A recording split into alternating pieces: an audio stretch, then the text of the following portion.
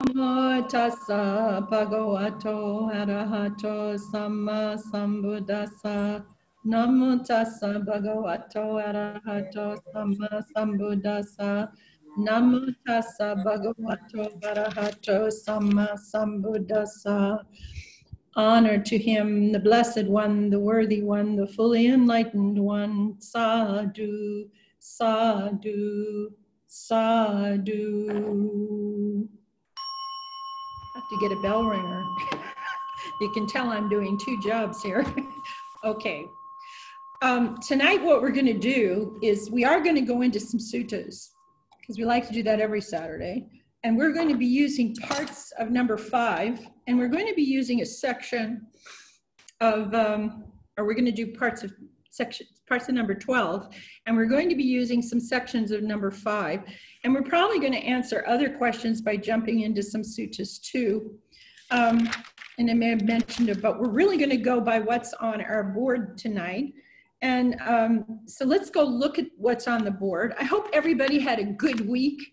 I get pictures and they can't smile, but I hope everybody's smiling. okay, that's good. There's our DK. Okay, that's good. Oh, good. That makes me feel good. All right. So we're going to we're going to go into the share screen first and bring up this document. And the first part is answering the question, the other part of the question I didn't answer before. Okay, and then we can go right into this. Uh, now, everybody, I hope you have some equanimity that's going in your life because when we do, oops, I'm sorry, what did I just do? I don't know what I did. Wait a second. Let me do this again. I love technology. Did you know technology was invented to make your life easier? And then it, it, advanced. And when they made those little creatures who are AI and they have their own brains and think for themselves, when they put them inside the computers, then everything that my computer teacher told me became a lie because he swore to me when he taught me about the computer. The computer would never do anything unless I told it to. And you know what? That's not true. that is absolutely not true. So it's probably true, but I don't know how it's true. okay, here we go. Um, so one of the first questions we're going to look at here is, um, wait a second, I'm still there. Okay.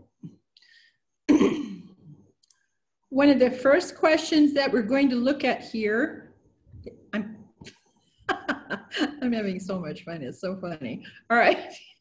Um, wait a minute.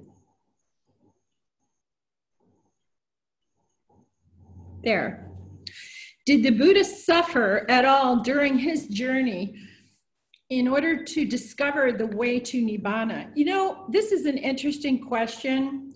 Sometimes people from different religions will come and talk to me about suffering, and um, they will sort of almost come and say, yes, but but that's it was very different in my faith the person who's teaching really really really suffered. And i'm there just so if you've never heard this before brace yourself. But what I'm going to show you is what happened to the Buddha, what he did for the six and a half or six or six and a half years when he was searching for the answer to the suffering. And first of all, he goes in that direction out of compassion in his heart. And we can say a couple things about this journey is that he didn't go out there um, to start this quest simply for Buddhists because there weren't any. It's a, that's a no brainer. There were no Buddhists, so he didn't go to do this just for them. The second thing that ha- about it is that he wanted to know the answer every ever since he was young. You hear the story about the swan with Devadatta, who is his cousin, who's always giving him problems. And you hear what he did with the swan. And that story tells you he was someone who had a lot of compassion in his heart, a lot of. And he did this, literally, this quest to find an answer for humanity, for human beings. It wasn't just for the people in his palace It wasn't just for him and his family. It was totally out there for humanity.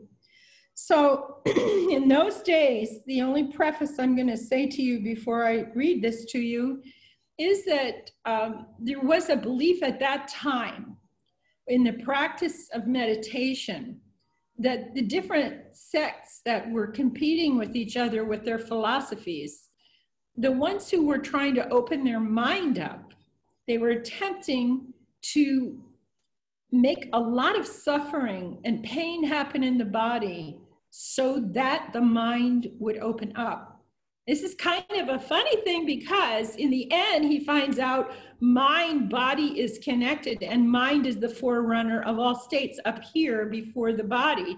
And this is turns out to be the command center. So when we're going back to figure out what the Buddha actually did and find out his instructions, this is interesting because we go back to the, as close to his words as we can, and that's the Pali Canon. And Bhikkhu Bodhi's translation, in my opinion, is the most workable, consistent um, translation.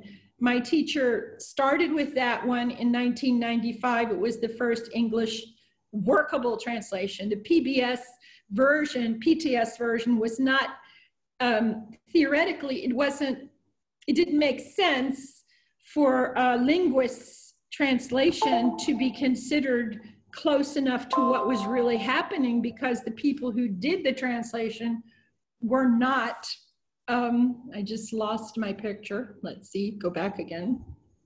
Um, the people the translation was not um, oh come on. Go back here go again the translation was done by linguists, and when they did the translation as linguists, um, then they're not meditators, is my point. And so they're doing it. And I witnessed with Bhante at Washington State University the translation for a section of the texts that were found underneath the statues that were in Afghanistan when they blew those statues up in the remains, the archaeologists found some uh, scrolls. And the scrolls were divided between seven different countries in different universities for translation. And the translation group, I saw the difficulty that was happening in the room when we worked for something like six hours each day and we were there for two days in a row. That was enough to see how they were struggling with seven people in the room from Mahayana, Theravada, and, Mah- and, and Vajrayana representatives trying to figure out what a Theravada monk was writing in these scrolls. But it was being treated as if the translations were work was being treated as if we found my comparison or simile as we found a Roman village. Now we're going to explain how it was constructed. But actually, the monk was attempting to tell you how the practice works. And Bhante and I were struggling against these people with all their master's degrees and PhDs to, to try to get across the point. This was actually, he was talking about parts of the practice in what they were struggling to translate. And finally, they, they came, they agreed with us, but I don't know what they put in the book in the end. I've lost the screen again. Um, Wait a minute. I don't know how to do this. I have to keep going back here. I never had this happen before. Okay, now. Um, okay. So here we go. This is the section of the Maha um, Sihanada Sutta, the Maha Sihanada Sutta. Sutta number 12 in the Majjhima Nikaya. It's on page 173 if you have the Majjhima Nikaya. Okay, it's the, this is the section on the Bodhisattva's austerities. And remember what we're, the reason it's happening is because they're trying to cause so much pain in the body that the mind will open and something will happen where the mind opens up. That's what was going on. Sariputta, I recall having lived a holy life possessing four factors I have been an ascetic, a supreme ascetic. I have been coarse, supremely coarse. I have been scrupulous, supremely scrupulous. And I have been secluded, supremely secluded. Such was my asceticism, Sariputta, that I went naked, rejecting conventions, licking my hands, not coming when asked to, not stopping when asked.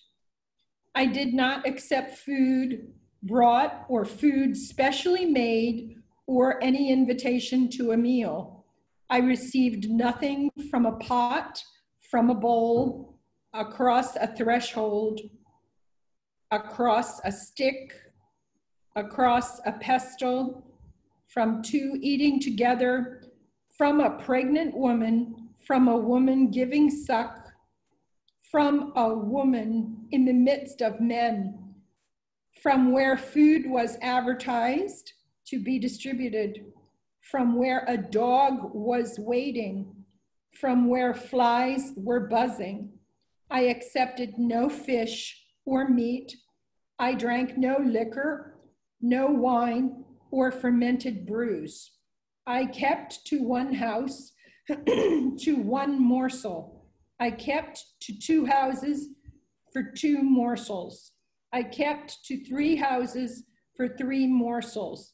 I kept to four houses for four morsels, for five houses and five morsels, for six houses and six morsels, and for seven houses and seven morsels.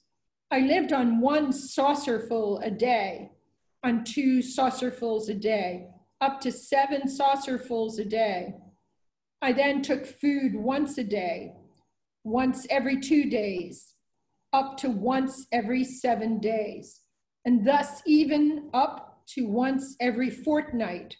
I dwelt pursuing the practice of taking food at stated intervals I was an eater of greens or millet or wild rice or hide parings or moss or rice bran or rice scum or sesame flour or grass or cow dung.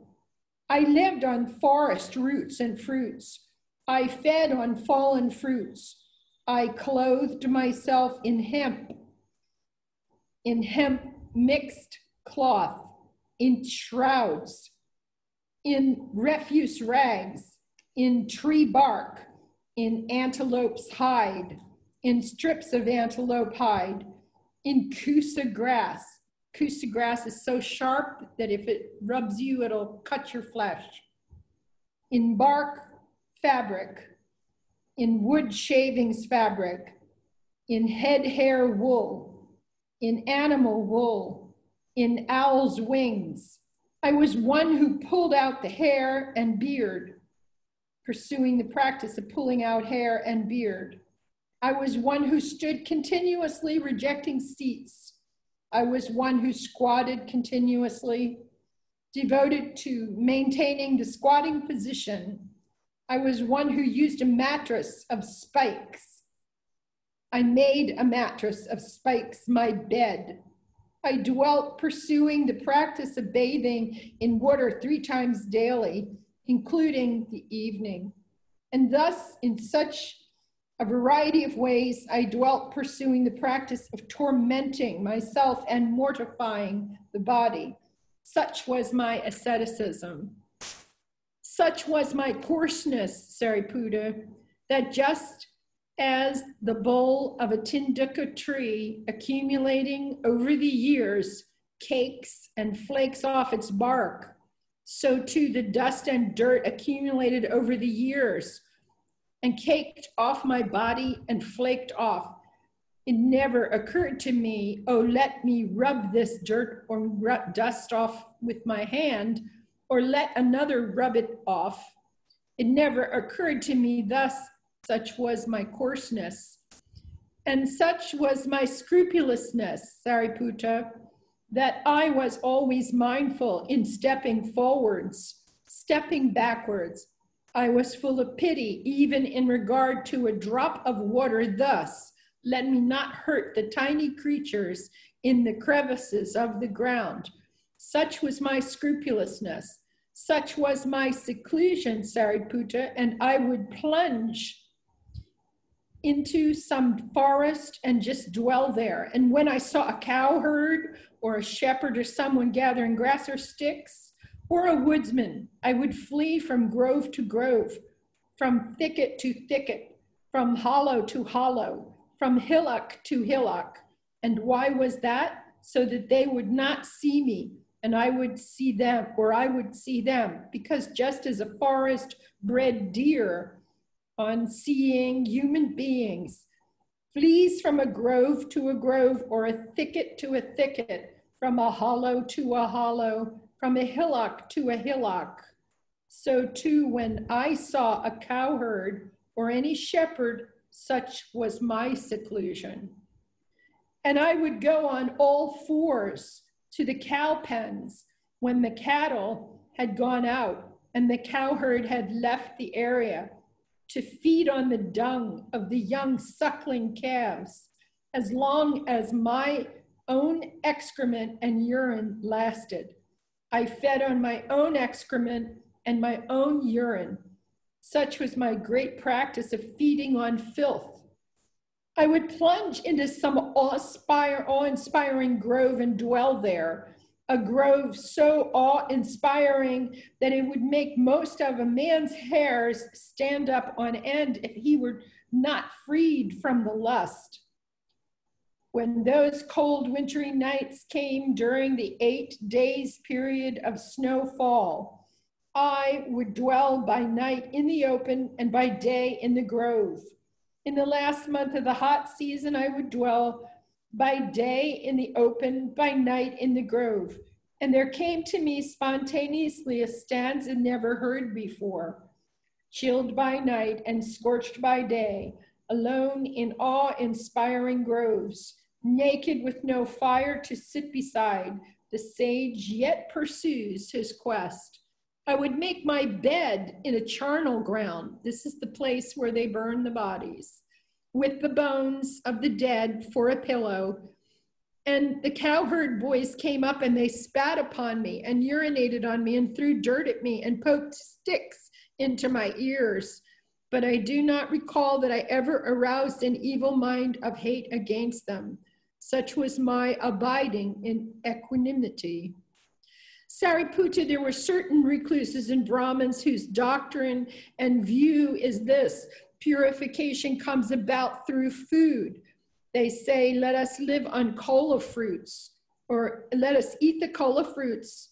And they eat the kola fruit powder and they drink the kola fruit water and they make many kinds of kola fruit concoctions. But now I recall having eaten a single kola fruit in one day, Sariputta. You may think that a kola fruit was bigger at that time, Yet you should not regard it so, for the kola fruit was then at most the same size as it is now, which is very small. Through feeding on a single kola fruit a day, my body reached a state of extreme emaciation. And because of eating so little, my limbs became like jointed segments of vine stems or bamboo stems. Because of eating so little, my backside became like a camel's hoof. And because of eating so little, the projections on my spine stood forth like corded beads. Because of eating so little, my ribs jutted out as gaunt as crazy rafters of an old roofless barn.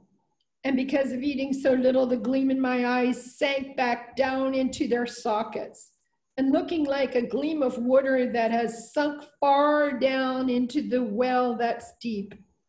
Because of eating so little, my scalp shriveled and withered as a green bitter gourd shrivels and withers in the wind and the sun.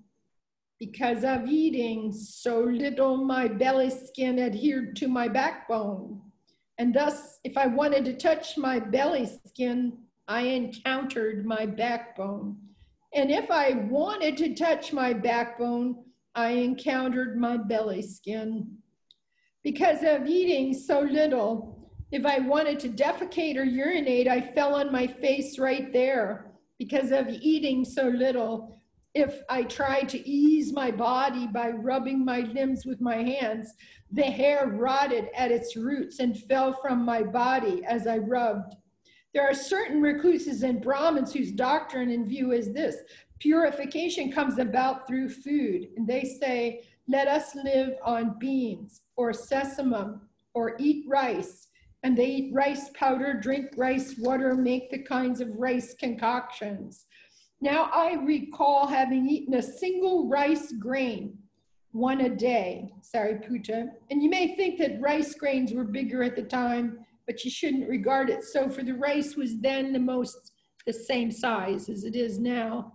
So through feeding on a single rice grain, my body reached a state of extreme emaciation. And because of eating so little, the hair rotted off its roots and fell from my body and as I rubbed.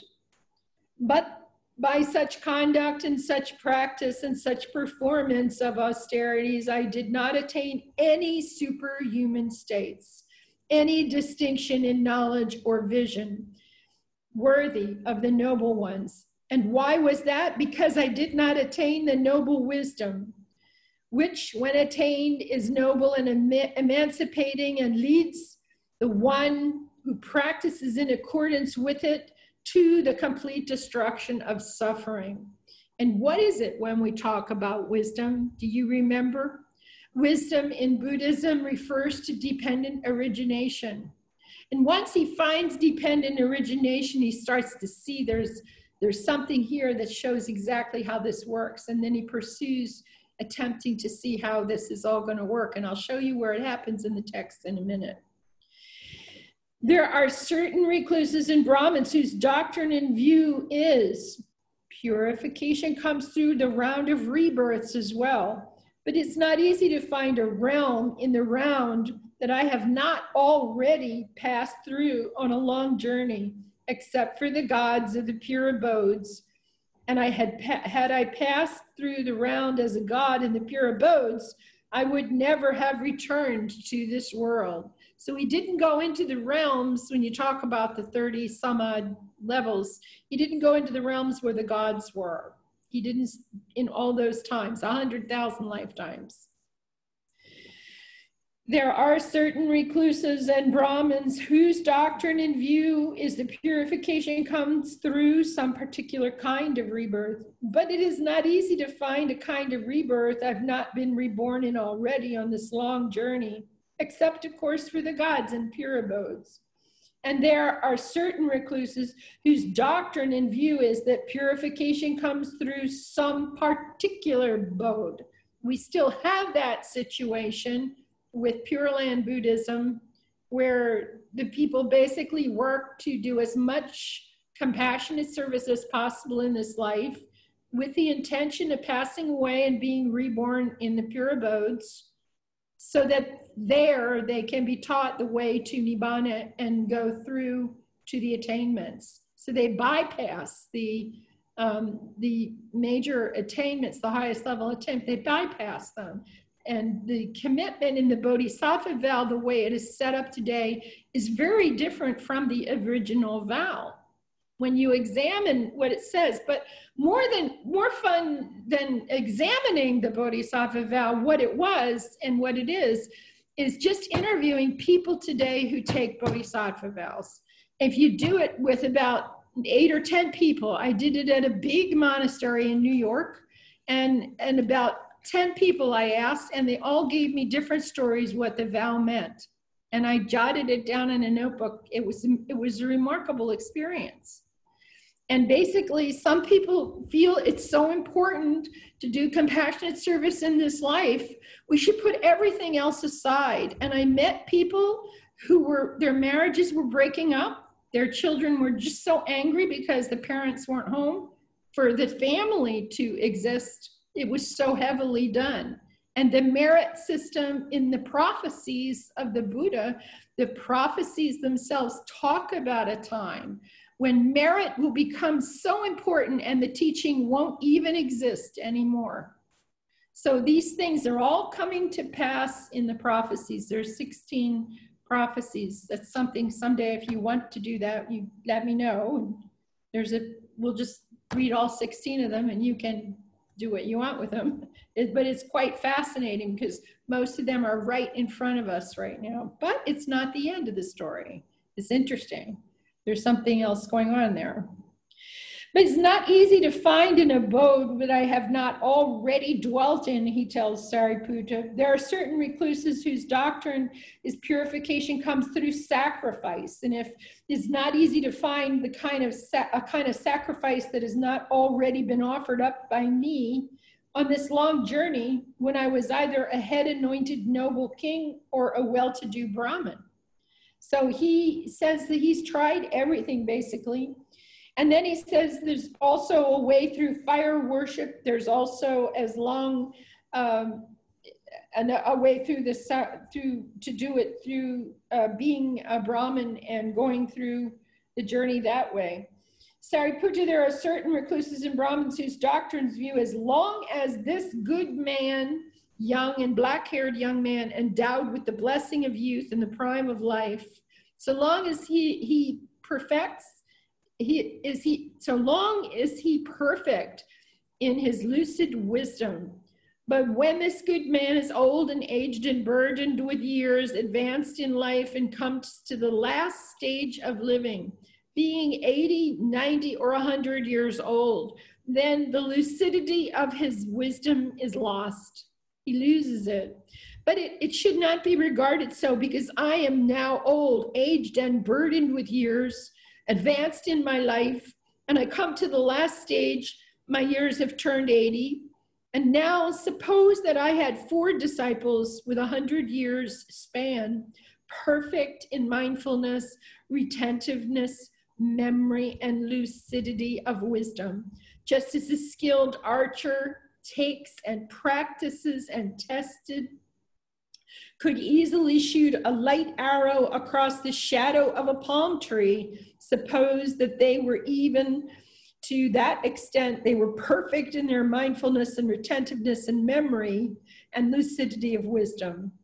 And suppose that they continuously asked me about the four foundations of mindfulness, and I answered them when asked, and they remembered each answer of mine and never asked a subsidiary question or paused except to eat, drink, and consume food, to taste and urinate and defecate and rest in order to remove sleepiness and their tiredness.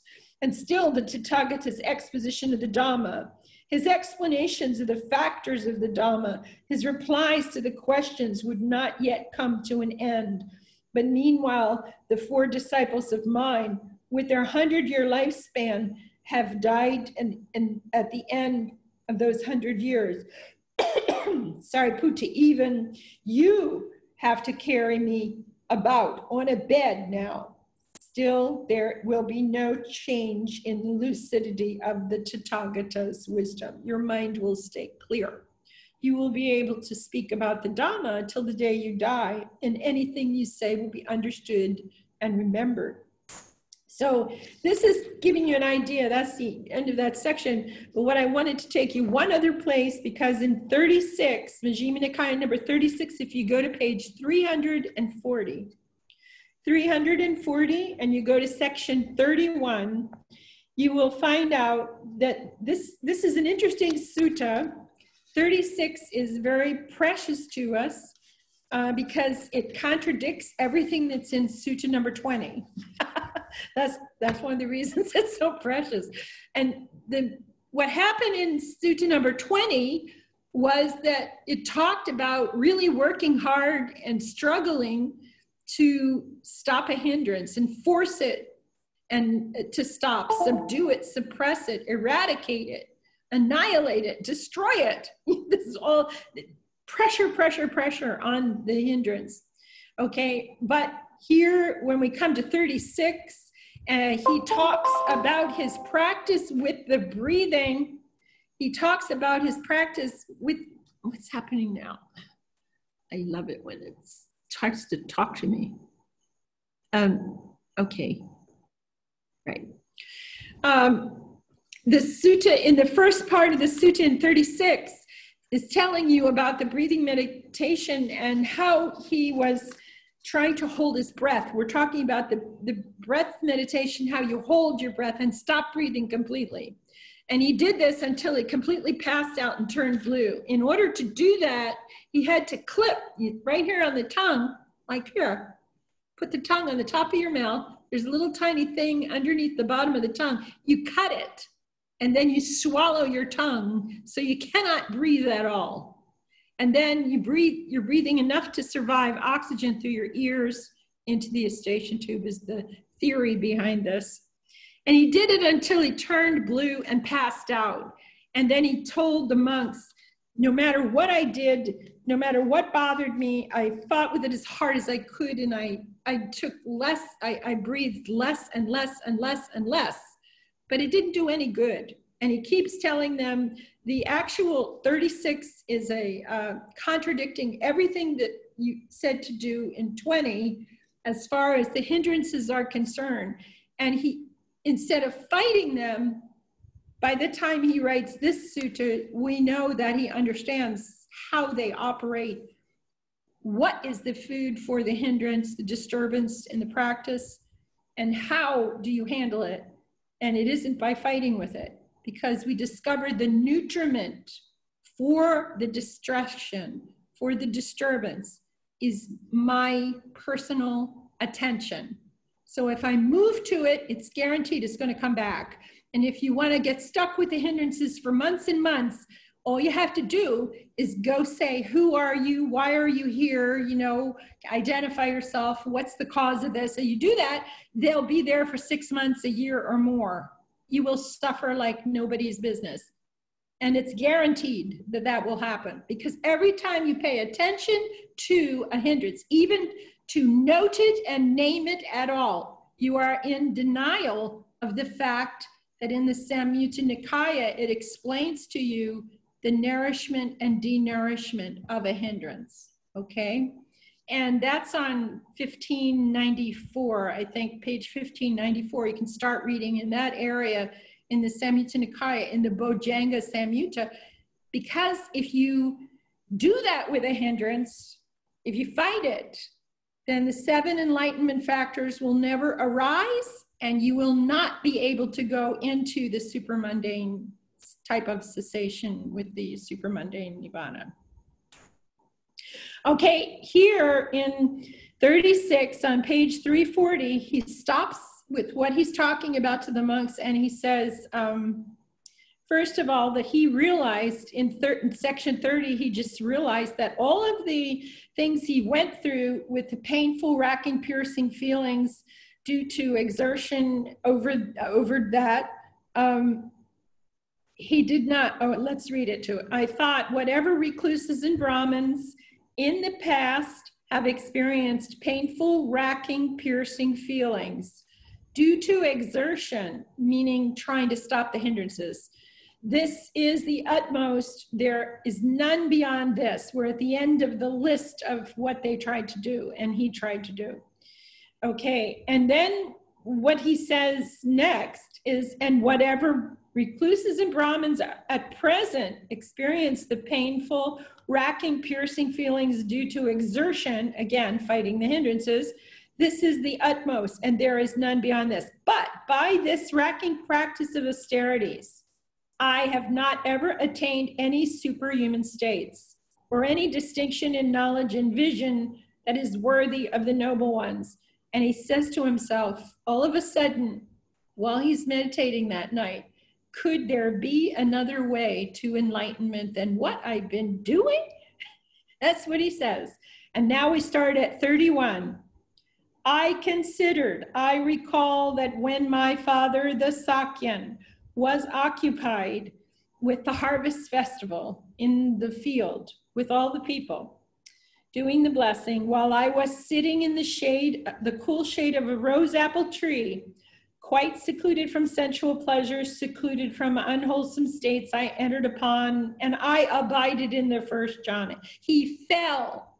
He fell into a jhana. When I say he fell, it is, I am trying to give you a simile that he just fell like like the pool the first part of it before you go into the first jhana is like a lake and it has to get full enough of water if you can imagine in your mind that it's going to go over the first of eight waterfalls.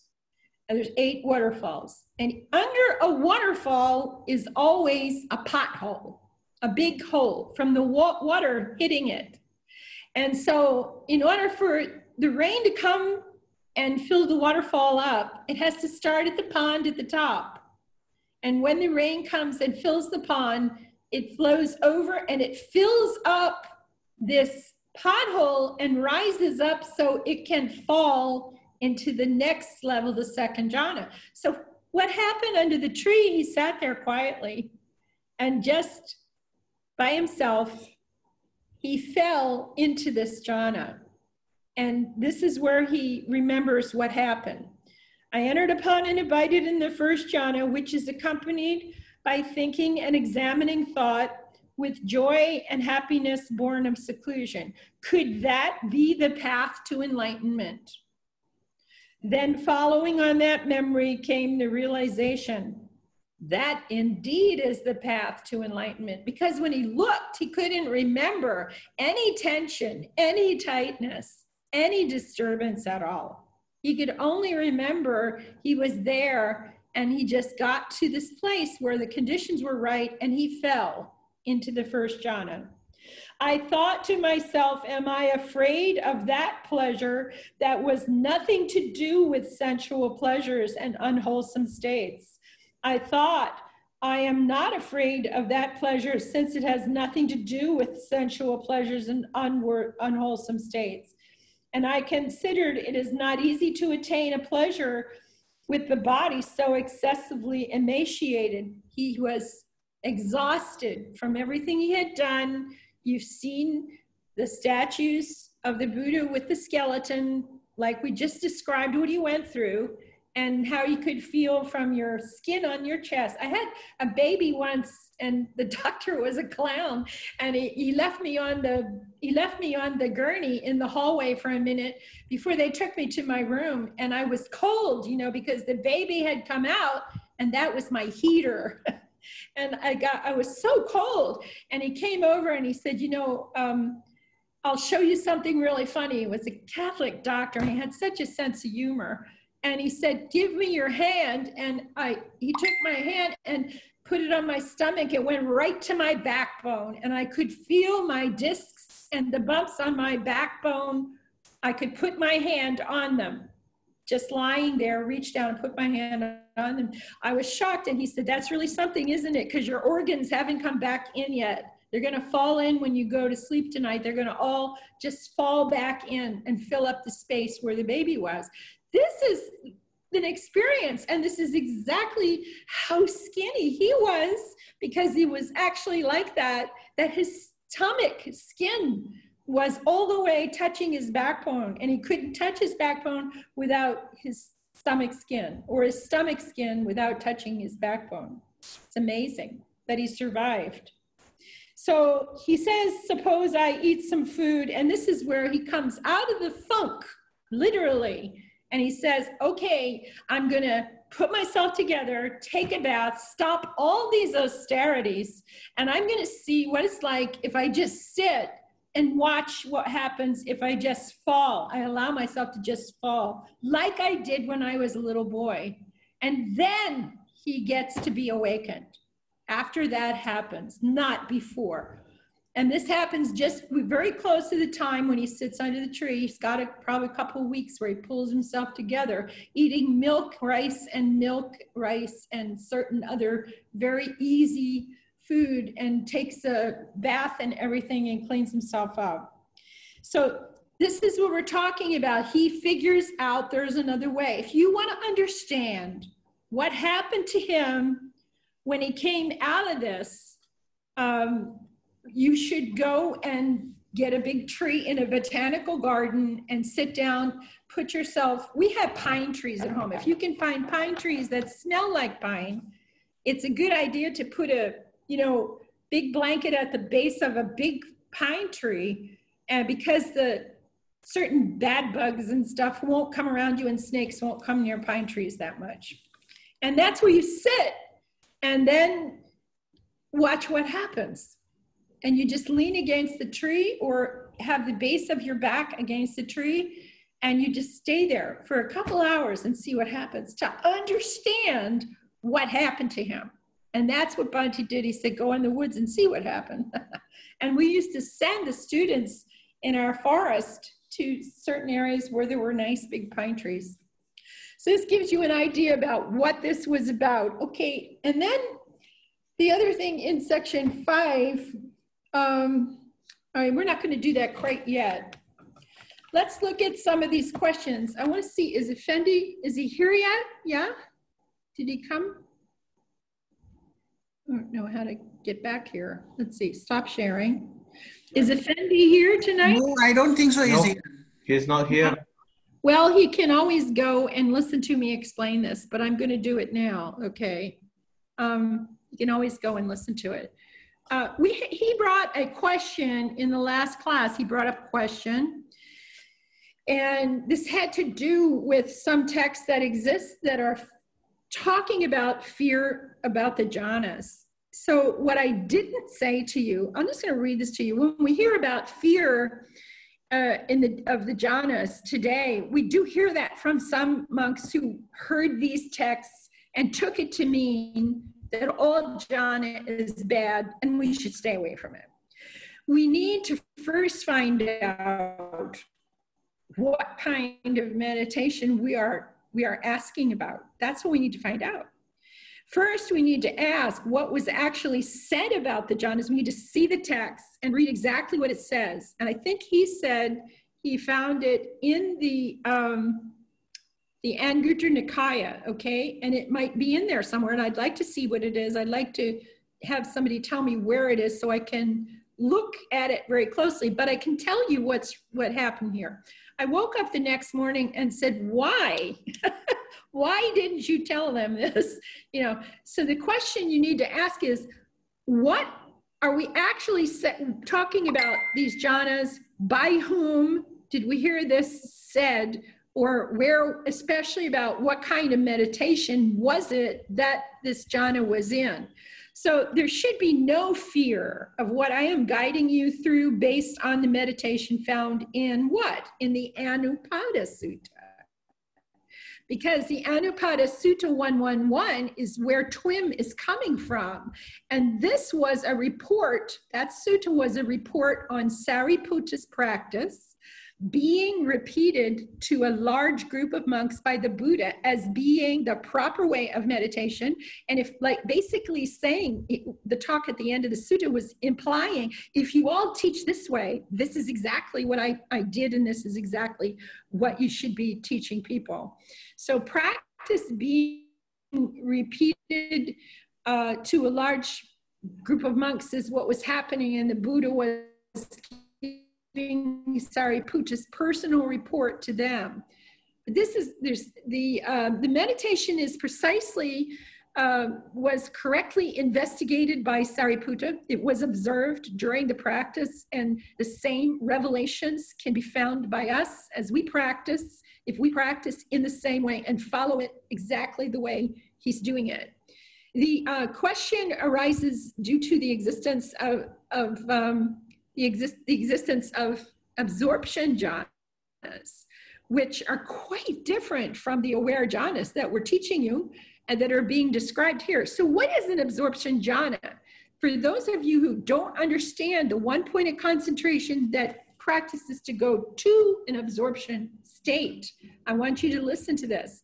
Bliss seems to be a big selling point when one considers practicing so strongly using absorption meditation. And many people today come to meditation for relief, primarily want to experience jhana in the form, this form, simply to experience personal bliss and escape from the world. And one can get pretty addicted to this kind of bliss when unguided and uninformed, which can cause all sorts of relationship issues at home because bliss faces all the issues of any addiction causes in life. like we're talking drugs, we're talking alcohol and that kind of thing. Now, this doesn't mean that monks can't, certainly doesn't mean that monks cannot practice one point of concentration. I'm not saying that. Go for it, you know, and if that's what you want to do, that's fine. And you go into absorption, that's fine. But with an untrained mind, this kind of bliss can be so mesmerizing that it could overtake an untrained, unwarned person without understanding that there is danger in craving and clinging like this. Although one can gain some knowledge about the dangers of severe craving for the bliss to keep happening, it's a, it's a defiant, I look at it as a defiant kind of thing. They want to defy or deny anicca because they want to have bliss. Bliss, bliss, bliss. That's what I really want is bliss. And after that, give me bliss. you know, it's kind of, that's kind of it, you know, craving, clinging, and reacting to disturbances that can happen. Uh, they start reacting to any kind of disturbance that happens when they go home from a retreat. And while in such a jhana, one cannot see, hear, smell, taste, or touch at all. I can hit you with a piece of wood or a two by four on your shoulder or ring a bell right beside your ear without any reaction at all because your aggregates are dysfunctional. No reaction can take place in a deep trance state of absorption meditation. However, if one makes a sound and such a meditator hears a noise, uh, the noise you made, they could come out and get really angry at you for the interruption. I mean, really angry because you pulled them away from what? You took away their bliss and you will witness you can witness a person whose equanimity what this means is this is a person whose equanimity and their concentration their mindfulness and their concentration are out of balance out of balance they're not balanced according to the seven factors of awakening they're out of balance that's why they get really mad you see um, and not balanced at all. It is possible, now watch, it is possible that the declared separation of serenity and insight practices, the samatha and vipassana, began because of this kind of situation or, or conundrum. If it happened on the history line, I was told by one historian that, you know, this happened along the way, and that's why the split happened, where they separated the two pieces. Thus, the comprehension needed to assist reaching Nibbana does not happen. And although there can be relief felt during retreats of that type, when the person goes back into life, they really can be disturbed, irritable, even grumpy and mean to people.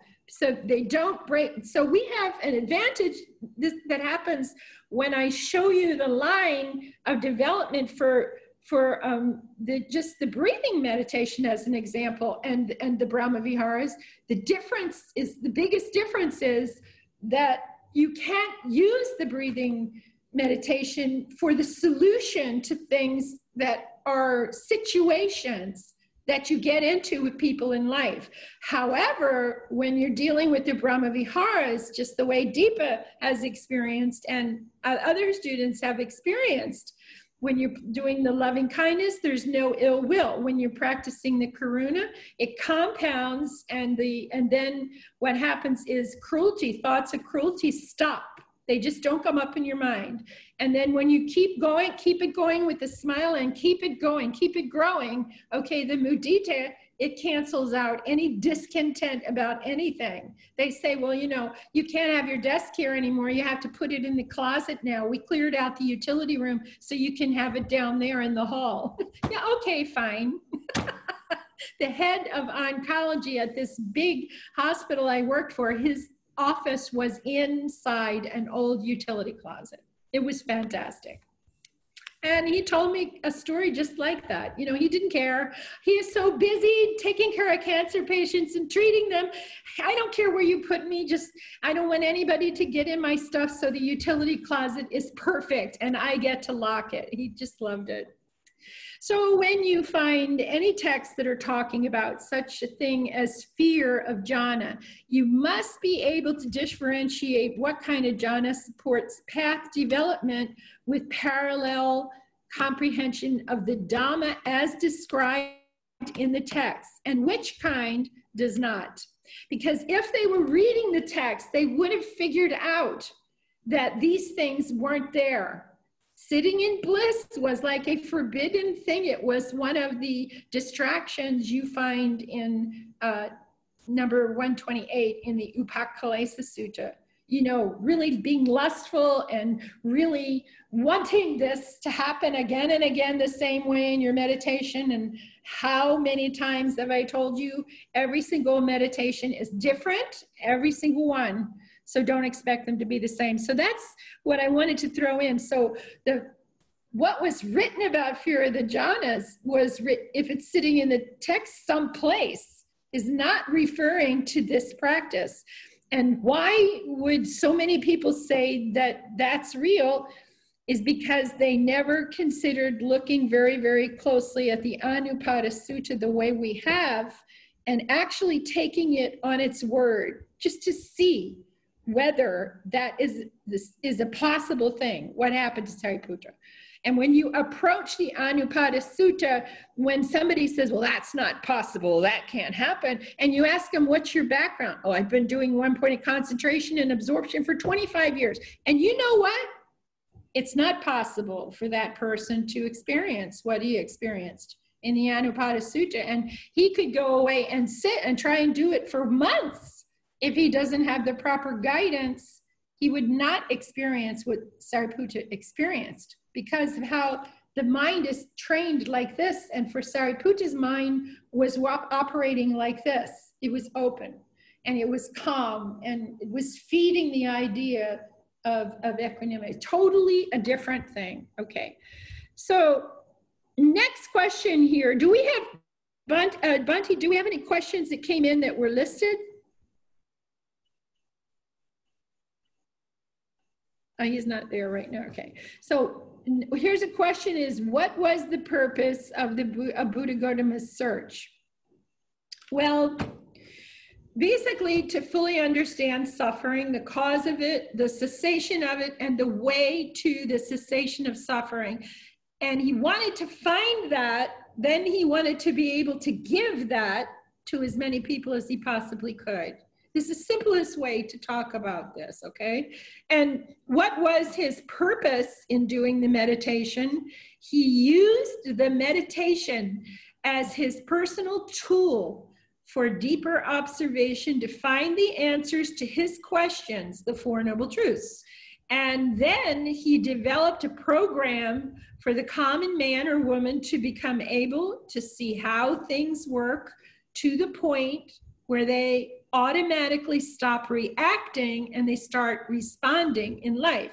The reason I'm saying this is because he's also not just known as the greatest meditation teacher in, on earth, maybe, and, to me, he's that way, but he's also a remarkable stories preserved of how he was a peacemaker he was a peacemaker among villages and groups of people and military commanders and kings and merchants who were fighting and all kinds of council problems in cities. He was there as he appears in the stories to be a peacemaker what did Buddha Gotama actually find? And you know, anytime during this thing, I probably should ask if anybody has any questions, they need to pipe up and say hello or something and ask a question while I'm doing this.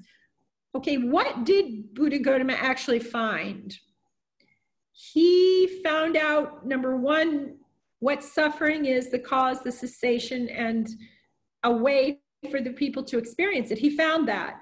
Number two, he found a way to end all the suffering for good, meaning stop the wheel of samsara completely. Hypothetically speaking, he, um, the reason I'm saying hypothetically speaking, he did that is because we note the percentage, we have historians who concentrate just on the history and everything that's been preserved. A lot of times will tell you, based on the population, about 4% of the population at the time in the golden period, the highest period, become monastics, okay? And then about 1% of that 4%, that's not a lot, 1% of that 4% became the meditators and became the arahats and everything. And they were working really hard towards the arahatship. Not everybody was going through a tunnel with just the purpose of arahatship. This is one of the things you have to look at. Uh, how, he also discovered how to help people. The third one is how to learn enough of what he was teaching to relieve their suffering um, so much in daily life activities. And that's what a lot of you are experiencing. It's easier to teach children music. It's easier to work with my parents. It's easier to put up with my kids. I hear it all around me when you're starting to do this. If you keep using what we're telling you about the smile and uplifting and countering, your brain is starting to get to a place where it says, oh, wow, that is more comfortable if I help you smile and I help you to uplift yourself instead of criticizing, arguing, debating, more than debating, and having troubles and saying, Oh, I wish this would just get finished. When's it going to get finished? You know it's going to get finished because of our friend, Anicca. And then the last one was over 45 years, he develops a way for humanity to see exactly how war happens and how peace works this is a critical thing. I am wish that I was still connected with different legislatures that I worked with and, and could still go there and say, you know, what's missing in your peace conference is breaking out into groups and trying to look very closely at human cognition to understand how does war work? And nobody can actually make ground make advancement across the world with peace as for human beings. Like i was discussing something with someone yesterday and saying you see even when we talk we talk about the rights for this group the rights for that group and we have to belong in a group it's not even enough that we maybe different colors in our races. That's not the only problem. We have different religions, we have different cars. And you know, one of the worst things that ever happened on the face of the earth, we have different phones.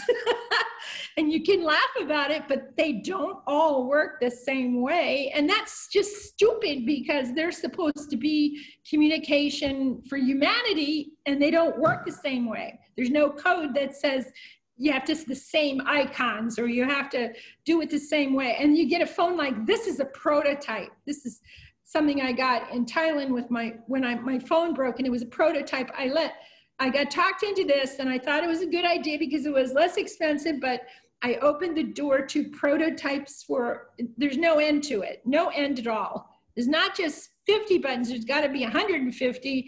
And it just wants me to do all kinds of stuff and changes its programs to see if I like. After I finally know the button is blue and it's round, they give me a square one that's pink or orange. I don't get it. You know, I'm, I'm not sure what's going on, but that's communication. And the one thing the whole human race needs right now is communication. And you can't, you've cut off the uh, you not only used to complain about gender division or color division how about communication division?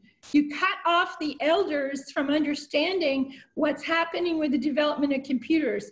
And i've told some people the best thing we could do about that is to set up a service so everybody could rent a nine year old because if you could rent a nine year old you would you would solve the problem of the generation gap and the young person would be able to the, the, the, the adult would be really listening closely to the young person because the young person knows everything.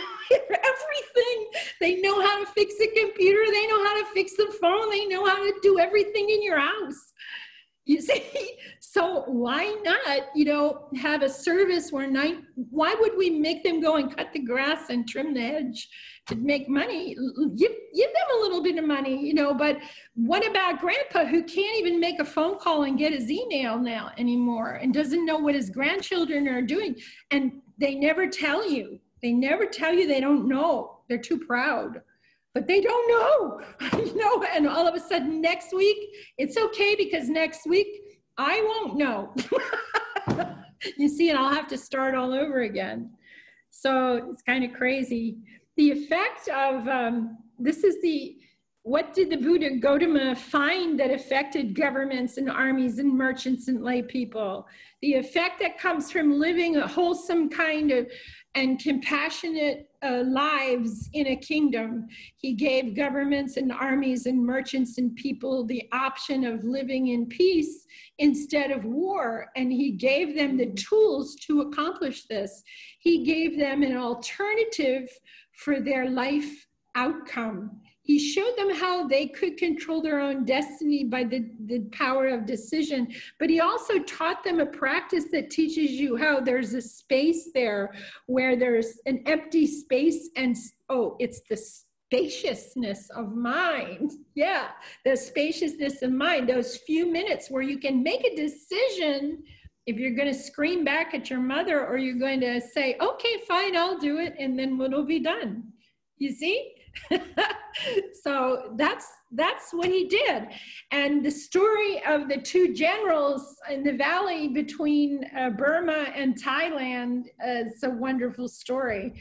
They were going to each had a, an army of 5000 people and they had their tents you know on the two peaks watching the next morning. They were going to send 10,000 people to their death basically and um, so one counselor, he had an idea and he was a Buddhist. And he said to them, you know, we don't have to do this. And they stopped having tea. They were having tea together the night before they were going to just go after each other, see? And um, the story goes that uh, the chancellor said, one of the chancellors said, why don't we don't go to war and not kill all these young men and they can go home and plant, you know, do their harvest why why do we have to do it and they said we have no alternative and he said okay what if you had a competition to build two towers instead of a instead of a competition of killing each other and they looked at him and said, What? Well, we'd have to stay in the valley for close to a year to do it, but each of the armies could build a pagoda. And this, the tallest and strongest one, we could get an observer to come in and decide which team won, and whoever won got that valley, that piece of land. And they did it. And they decided not to go down and fight the next day. And that pagoda is still sitting there. It's in a valley between Burma and Thailand. My teacher went to see it. I just couldn't get over it. I thought it was great. You know, it was wonderful. It was almost like saying, why don't we have two teams and play soccer instead? you know, it was that close to being a soccer game. It was wonderful. And so this is how he, you know, came with this idea because he'd been practicing with the Buddha and studying with him. So ask yourself a question What is my reason? This is an interesting one. We have people out here who are considering they want to be teachers for this practice. So ask yourself a question What is my reason for practicing meditation today? Of course, all reasons are acceptable and in line with your life experience and what you decide to do when you come to practice meditation. But some reasons today are also promoted by some groups as like come and practice, and they get in this thing about just to meet other people who practice meditation. And another one is everybody come for just reducing stress, relaxation of the body and the mind. Well, this is an accepted um, way uh, of, of treatment now for people with stress and depression and uh, tension and stress related things. And it's very good. There's nothing wrong with that. There's nothing wrong with that. And if you do this uh, practice with using the Brahma Viharas, it's excellent. Absolutely excellent. One of the students has lost his back pain, managing his skin condition. A lot of things are changing for him because he's keeping his precepts and he's working the program really, really well. This is a good example of that that's happened. Experiencing calm for health reasons. That's the same thing. Look, learning to focus more on assignments for school and for work. A lot of people do that. Discovering more about the underdeveloped human potential. That's an, another reason people come to this because what happens, I, I was giving some talks um, in um, Sri Lanka to the organization that decides the rates on the money, the percentage rates on the money and everything. They had 80 people in their offices. And um, they wanted to have more human potential open up for their people that worked there. And we, I did a training for four days and it was really excellent. They, it was really nice. Um, but they, it opens up the way when you calm down and you you understand anicca dukkha anatta and you don't get so hyper about this is never going to end this is never going to stop. And every time there's a crisis when you look at the economics they go oh here's another one. Oh here's another one. You know oh my gosh it's happening to me. It's raining down. No it's not happening when you. You need to be looking from a different perspective and say i determine how i'm going to perceive what is happening and then you see from there, that determines where you go. Yeah? Okay. And so you're more in charge of your destiny than you think you are. Finding out why life feels unbearably heavy and sometimes so confusing has to do with your perspective of life. If you believe that everything is happening to you, then it's going to be very, very heavy right now. But if you believe that actually it's up to you to paint the picture each day of what your life is. And how many times have I told you, go to an art store and get a plain, um, you know, canvas that's painted white and hang it on the wall. And in your mind, each day, you paint a picture of your day. And then at night, you imagine it's just erased and it could look a number of different ways. You see?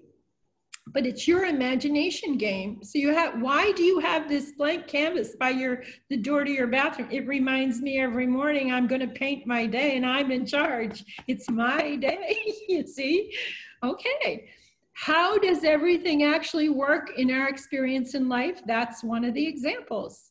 We choose how we are going to see the world. Nobody tells us how we see the world. And there are certain things we need to relearn, like if somebody's yelling at you and picking on you, listen a little closer if you know the person, if they're part of your staff that you work with, if you've watched them for a period of time or you can watch them on a daily basis, watch how they uh, handle this. It's other workers or, or supervisors. But whenever anybody really picks on you, they're actually picking on themselves and it's actually what they're saying is not being said to you, but is being their agonizing piece about themselves. There's something connected there. So you listen very carefully. And if that's true, why are you ruining your day by taking in what they're saying when you think they're talking about you, but actually they're talking a lot of times by about themselves? Next one is the Buddha wanted to see how suffering worked and how to relieve it for the sake of compassion for all humanity again. He taught others how he discovered the true nature of everything. And the question about untapped human uh, potential comes up, and he solved it. You need space in your mind, you need space. And if we painted a picture of our head before we're trained, we'd have the future and the past and this little tiny thing that's like today's world. and this stuff is like pushing, like the blues are over here, and maybe the hot oranges are over here in the future, pushing, pushing, and this little yellow line is in between, and that's all you have. And then you practice meditation, and this sort of falls off the head, and this one disappears because you know why should you worry about the future? You're not there yet. You don't know what it's going to be. And you know that all the energy about past events, they are finished, fixed, and done. So why should you let this thing stick to your head and this one stick to your head? It's like the science fiction movie of the blob. And here's the blue blob and the red blob, you know, like that. And you can pull the stuff off and go, wow, that's so neat. I have space. Now I can think of new sort of peaceful solutions, invent some that would solve the problem without hurting anybody's feeling and making other people happy. And that would be fun. The actual questions uh, we've about meditation as, as a practice. What is the object of meditation? Now, this is important. We don't get a chance to talk about this very much. Okay, we don't do it too often. Okay, but I want you to think for a minute what is the purpose of an object of meditation for a practice of meditation? What is the purpose of it? Anybody? Tell me what is the purpose of the object of meditation for your practice? Anybody? To recenter our mind, to recenter, to bring it back. That's right, to recenter it. Um, uh, you know, I hesitate to use the word anchor, but people like anchor. If you understand anchoring, like an anchor, here, I can show you, well, I don't want to do that, but you have a boat, you know, like here's a boat, here's a boat, where's the boat? where's the boat? Okay, where's the boat? Okay, we can use this guy. Here, this is a boat, this is a boat, and here's an anchor. And I put the anchor and it's sitting in the bay and you're going to sleep in your boat tonight and it's tied to this anchor. So the wind comes and the boat can move around, move around the anchor, but it stays there. See, it stays there. Okay? You don't concentrate on the anchor because it's just there for you as a guidance system to the boat so it doesn't float away on the tide. When we pull it into a bay and we want to sleep in the boat, we have to have an anchor just to drift around like this and not get lost. That's one of the purposes. But if you think about it being an anchor and I have to concentrate on the anchor all the time, that's wrong. So, what do you get out of an object of meditation? Does anybody know what you get out of it? Can anybody think of something that you get out of your object of meditation? You're right. You don't get any information. It has nothing for you. This is the big deal about this object of meditation. It isn't meant for you to concentrate on it as a one pointed concentration object. It's just there so that when you are pulled, you, you it get float away, the attention, it has a place to come back and continue going straight. That's what we need to remember. It's only there for you to come back to. So the two terms is it's there as my home base, like in baseball. You always come back to the home base. Okay? It's my home base or it's my recentering point. That's what I want you to remember. And that's like a law for the, it's the object, it's the object law. Okay, the next one is how do I begin setting up a meditation practice for my life? People ask me that, okay? And choose a location. It doesn't have to be a big location. It doesn't have to be in an expensive resort. Doesn't even have to be in, in any place uh, particular. Wear loose clothing, find a comfortable posture, position for practice without pain. This is key. If you're having pain, if you missed it, we have two kinds of pain meditation pain and physical pain. How do you identify pain? When you get up and you start to take a walk, the pain disappears on the first two steps. That's a meditation pain. When you keep walking, your hip or your knee or your back or your neck, it still hurts. That's a physical pain. It needs to be corrected. And the way it gets corrected is through posture. And we'll talk about that in just a minute. Um, you set up your timing for your place where you're meditating for at least 30 minutes to one hour for practice each day. That's minimum 30 minutes, no less than 30 minutes. Any less than 30 minutes is like you're just taking a, a, a break from work or a pause in life, but it isn't anything constructive concerning your practice going deeper or seeing how things work at all. 30 minutes is the minimum that we can see. Now, there are what we call 40 minute wonders. and what I mean by that is when a person practices only 30 minutes, if that's all they can do, they can reach the first jhana. But there are some people that are going to turn up and it's a 40 minute mark. I don't understand it. But if I get them to sit 10 minutes longer, bang, now they start going down the path, just like that. So sometimes there is that situation, but 30 minutes is the minimum.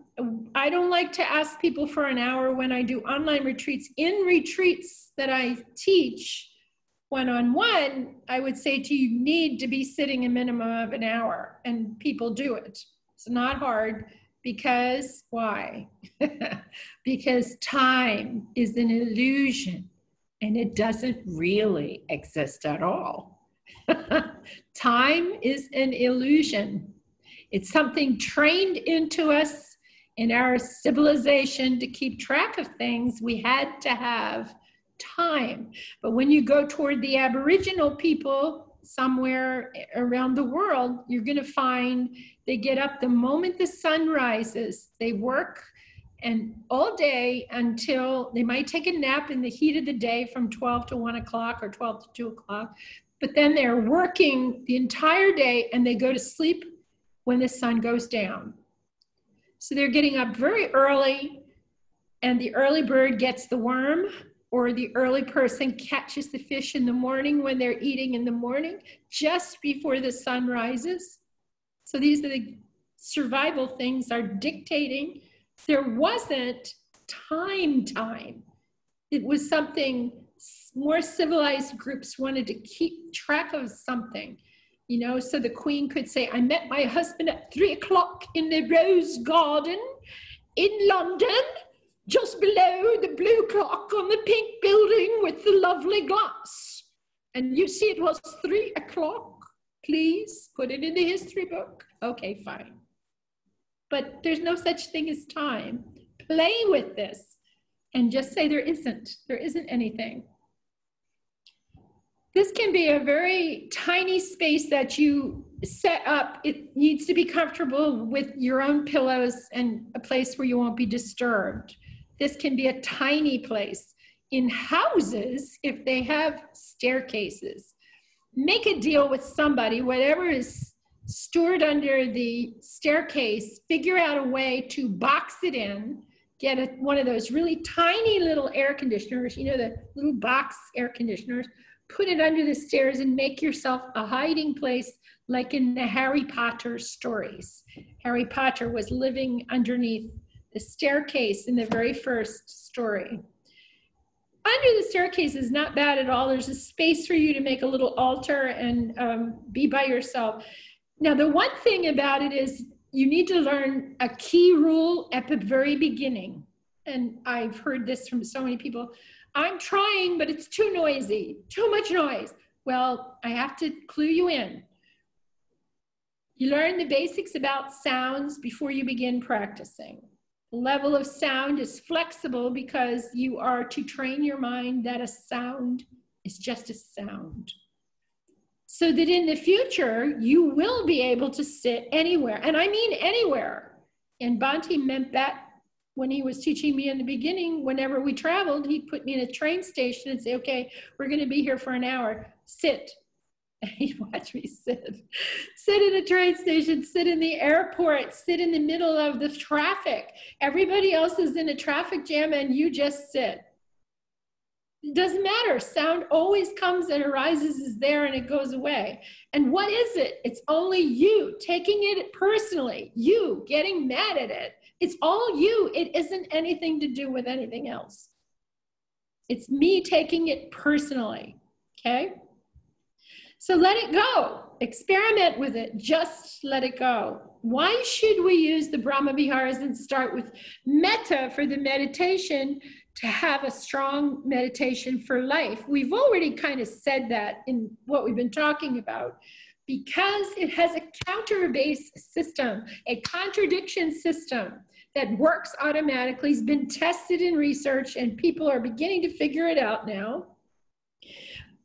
Loving kindness cancels out ill will thoughts. Karuna cancels out thoughts of cruelty. Mudita cancels out any thoughts of discontent at all. Equanimity cancels out any aversion for anything, whether it smells or feeling or touch or sound or sight. It doesn't matter, or temperature. You just don't get fussy about it anymore. The begin to apply when you're practicing the four steps of right effort anytime mind gets disturbed or distracted. Recognize an unwholesome distraction with tension and tightness that causes your attention to move away from the objective. Release the attention off the distraction and relax your head. Third, bring up a wholesome mind state, which is smiling is the fastest one. That's it, it works. To replace the imperfection that occurred as you return to your object of meditation. It's in this very smooth thing. You're doing this while you're doing this to come back. Just the way when you uh, release, then you relax. But they are two separate steps, but they can happen in a very nice flow. The whole thing, all of this, recognize, release, relax. Smile as you come, re-smile as you return and repeat this whole thing, but not the repeat part, but all the five parts of it, okay, happen in two seconds. That's how fast. So, you know, I don't want to hear people come to me and say, okay, I let it go. Uh, let's see, this arose, and the first thing I did was I, I sat with that. They'll say, I sat with that. With what? was it your spiritual friend you sat with? No. I sat with the distraction that came up. I hear them say, I sat with, I, I went, I sat with the distraction or paused with the distraction. That's all of these. I paused with it. I sat with it. I met with it and said, Where'd you come from and where did you live? When, how'd you get here? Whatever you degree you did this, okay, however you did it, that's called I engaged the enemy. I engaged. Okay, what am I talking about? Look at Majjhima Nikaya number 22 in section 6. And the, the monk has a problem. In the sutta, the monk has a problem he believes it's okay to go and sit with the, the visitor. Okay? He believes it is okay, okay? And then the Buddha comes and he says, Oh, no, no, you got this all wrong. At which case, the monk, he sat silent, dismayed, with his shoulders drooping and his head down, glum, without a response to the Buddha. He was like, Oh, I got it wrong. And then the Buddha comes back and the Buddha says, okay, um, misguided man, he says to the monk, to whom have you ever known me to teach the Dhamma in that way? Misguided man, have I not stated in many ways how obstructive things are obstructions and how they are able to obstruct you if you engage in them? You hear that? That's basically an order. Don't engage. Do not engage. You're all on horses. You're ready to go down. Do not move. Do not engage. Cut and dry. Why? Because you are food. you are nourishment for the hindrance. If you pay attention to it, then he says, I have stated sensual pleasures provide little gratification, much suffering and despair, and the danger in them is still more. If you pay attention to it, you've turned it into a point of gratification and that sets sensual pleasure. I'm curious and I'm going to go see it. I don't want to hear it anymore. Do not engage the hindrance. It has nothing for you. We told you that before. And don't feed it.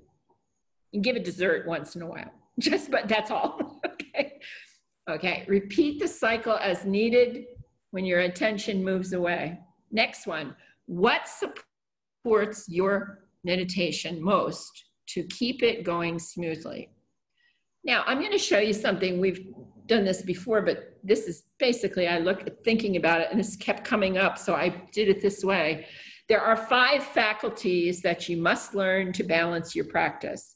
You get to know the five faculties first to support the continuation of your practice. So, first, you meet and greet them. The five faculties are faith, energy, mindfulness, concentration, and wisdom. In order to remember that, say femqua, femqua three times. Femqua, F E M C W. Femqua sounds French. Okay. Faith, energy, mindfulness, concentration, and wisdom. Now, faith in the instructions as the Buddha left them. Number one, faith that they will still work today if we follow them, if we follow them alone without anything else, precisely. That's the trick. Energy, keeping up the energy in your body is important to keep your sitting going long enough to see deeply and clearly how does the suffering work. That's why the energy is important. Mindfulness learning to balance your observation power reminding us to use the six R's whenever needed and reminding us to do all of the steps the same way every time because you are retraining mind and that's how you retrain a mind. You do it that way and then that way and you don't do it this way. Nope you do it that way and you go that what this way? Okay no this way. And if you keep doing that mind goes i think she's trying to tell me something. I think i'll do it. Okay. That's what happens finally. Concentration learning to establish a productive level of a collected mind for the best observation to occur. That's the best way to say that. Wisdom, taking in the gradual teaching to develop a gradual practice and attain gradual knowledge and wisdom. Wisdom is also involves learning dependent origination, but here we, we can add in here two other aspects uh, that we need to manage, which are curiosity and persistence. They're not listed as seven factors, they're not listed there, okay? But you have to have curiosity to keep your interest up. Curiosity, interest, and persistence. There's actually three of them. And that's how you keep the investigation going. So they're components of investigation. You see what I'm saying? Now, what are we trying to understand by witnessing our meditation? Well, the very precise version of this, and I love this because every time I go fishing around in the Majjhima Nikaya now, I find these five pieces from 148. I find them again and again and again. And like I found them in the front of the book just a couple days ago in below, that was below the number 10 on the sutta list. And I couldn't believe they're sitting there and they're in there probably in five, maybe seven different suttas, not just appearing in 148. But these five pieces are what you're trying to train yourself to understand. The origination, that means the true nature of all arising phenomena, the impersonal nature of it. The second one is the disappearance, the true nature of all disappearance of phenomena. How does it arise? How does it pass away? The third one is gratification. How do I personally like sensual pleasures, get involved with them, gratification. And that's how the dependent origination is working, okay? Danger of the whole thing, the danger of not understanding these, how one gets pulled away from the present time. And what did we say about the present time? The present time is the only place that you are alive, the only place. You're not alive in the future, it's not here. You're not alive in the past, it's all gone. You're right here. That's it. That's the alive place. The practice reveals when you practice it, you uncover the Four Noble Truths, the phenomenological dependent origination or human cognition, and the three characteristics of existence become perfectly clear how they work and why they're important. We know the Four Noble Truths. We know dependent origination. We've talked about it because we get to see and realize it's important because we get to see and realize the origination, the disappearance, the gratification, the danger, and the escape. We need a song. We need a song. the origination, the disappearance, the gratification, the danger, and the escape from the suffering. We need a rap. We need a rap here for this. Okay.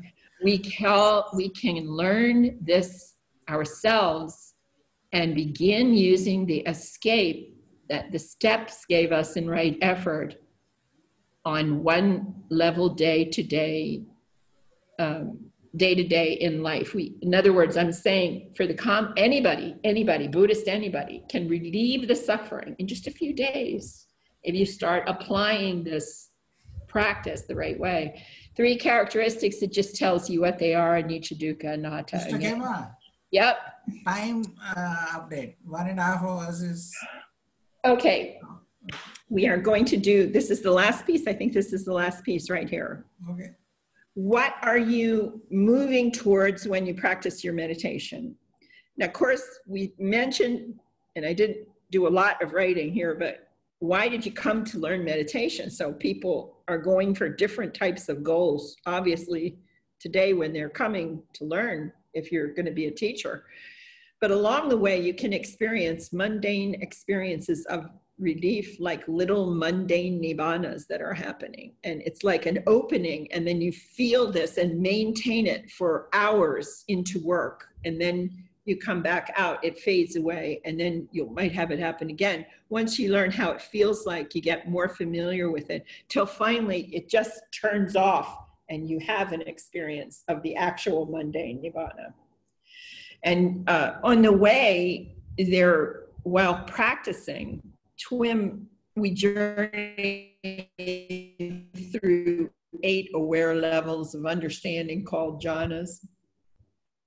And these are mentioned many, many times in the text, but they're not mentioned as levels, a particular understanding with factors that are present in this one, and then we these are gone, and then it'll then go to the next. So if you have the list already of the Anupada Sutta, the the tracking picture, the, the chart, you can read and understand what comes and goes in each one. The Anupada Sutta gives us the most comprehensive account of a journey through these levels of the Buddha Dhamma, and it explains each one parallel to our meditation development. The Dhamma and comprehension and the, the practice happening at the same time. The causal state, which supports our falling into cessation level eight, depends on our awakening factors coming into balance, and our comprehension has to be aligned with our development. So basically, this is un, this is revealing to us if we're if we're guiding people that people who are not keeping up with their comprehension um, as they are learning the the meditation itself are not going to have the support to maintain anything in life. It's like they'll visit us and go back and visit us and fall back and visit us and fall back. And we had one person went like maybe 15 years like that. And finally it hit him all of a sudden that, you know, I don't retain this stuff. I don't know why. And then he put it together, he figured it out. Okay, now this is little hard to read the way it turned out. But so if we were to picture the practice now by considering the helpful faculties, the faith, energy, mindfulness, collected wisdom, faith in instructions, energy, curiosity, persistence, and you could say interest there too. Um, mindfulness is observation power. Collectedness is the productive level of your concentration or collectedness your wisdom is the precepts and the knowledge of hindrance management and the dependent origination. Those pieces, how that's what's going to support you. So without the comprehension, you don't have support. And it's simple. You cannot go through, you, you have to have a relative level of understanding with this. So what this was supposed to be was a chart for the whiteboard. So if you want to, I'll show you how it works. Those are the pieces, and then you would put them at the top of the page and draw a little arrow down. And the next line would be, as we know five faculties better, we slowly attain the knowledge and wisdom we need. Then another little line, it says, we begin to see with comprehension, not just hear it, but we begin to see it. You see, the thing is, I can tell you something and you hear it, and you can write it and say it, and you might know it, okay? But to learn it in internally learn it, I have to involve you. You have to be involved to make it functionally happen in his way of teaching. Gotama's way of teaching was knowledge and vision, which becomes the foundation for knowledge and wisdom. The next one, the comprehension flows into we watch to see how everything works. That's your dependent origination. Next one is this builds up confidence. And a lot of confidence comes up in that. And your anatta training also. And then we abandon all fears. We really start abandoning fears. We're not afraid of people coming to yell at us anymore. Now we know how it works. You know, um, we send a message to their mother now. okay, next one is this brings up balance. When we abandon our fears, all of a sudden our equanimity makes a jump and gets stronger. And then that makes a more open mind. And then that clears the way for major insights to come up. As you're comprehending the text, you will start to notice if you listen to a sutta maybe four times over a few weeks you hear different things coming from it. This is how you are growing your insights. Because you heard that sutta the first time you ever heard it, you only heard it as a beginner. And after you get this far down the chart, you hear it again, you get something else, and then so forth, okay? And then clearly realizing the seven factors, the Bojjhanga, um, understanding those seven factors, and then you learning not you knew them maybe just know them from hearing me say what they are. Now you realize that you're using some of them and then you start to balance them as you wonder how what it'll be like if i balance them. And when you get to nothingness seems to be the area of nothingness and before you go into neither perception non-perception that's a different thing. But uh, it seems to be between uh, infinite consciousness and nothingness. It's those two areas that you have time to balance the Bojjhanga. And it's like you are balancing, okay, and the last one is neither perception or non perception. And then you fall into cessation, then you happen to have the experience of, of, of Nibbana, okay when you are balancing the enlightenment factors, what is this like? And way to show you is it's like this. I wish I had a white one. I don't have a white one. I have one in it. Here. This is a yellow one. It shows up better. So I have a balancing bar and I am walking on a tightrope. And tightropes are really actually those tightropes are about like they're about like that big. They're not like my finger. They really are about this big when they're put up. And when you walk on those, you don't walk like this. You walk like this, actually. It appears to the audience you're walking more like this, but actually you're walking like that over the tightrope. But you can fall, obviously. so when they have these big long bars, you know, you have to, you're walking a tightrope to see if you can is going like this, you've got to lean this way. And this way, you've got to lean that way, right? To be a balance on the on the tightrope. And so the play play with the balancing bar and pretend you're crossing over the chasm that was inside the the um, the cave, the, the, uh, the, the great big cave in um, the last crusade with uh, Harrison Ford. And he couldn't get to the knights that had the, the chalice cup, you know, the Holy Grail. He couldn't get across there because he couldn't find the path across the chasm. Remember that? Okay, well, he was lucky because once he saw it, that was like this wide and he could walk across. But he said, uh, This is a tightrope, and you're walking, you have to pay attention to where you're going, just where you're going, and remember all the factors that are here. So, this mindfulness is holding the tightrope, the, the, the balancing bar, and you have to get across with it like this. Now, you see the shape of this is not like a key, like normally you'd have a key and I would put it in the door and turn it. But to get into uh, through nothingness and fall into the last level of your, uh, that you have to go through to fall into that, that last level, that last state at the doorway, get through it. It's like a door, you have to unlock it and just pretend this is the key and the key goes in a slot and then you turn it and you fall. You see? This is the image I can give you about that, like a simile. And then when you're in that last state, you have to go back. We have to show you the text to show you where it came from, but also the, the, um, the um, what am I trying to say?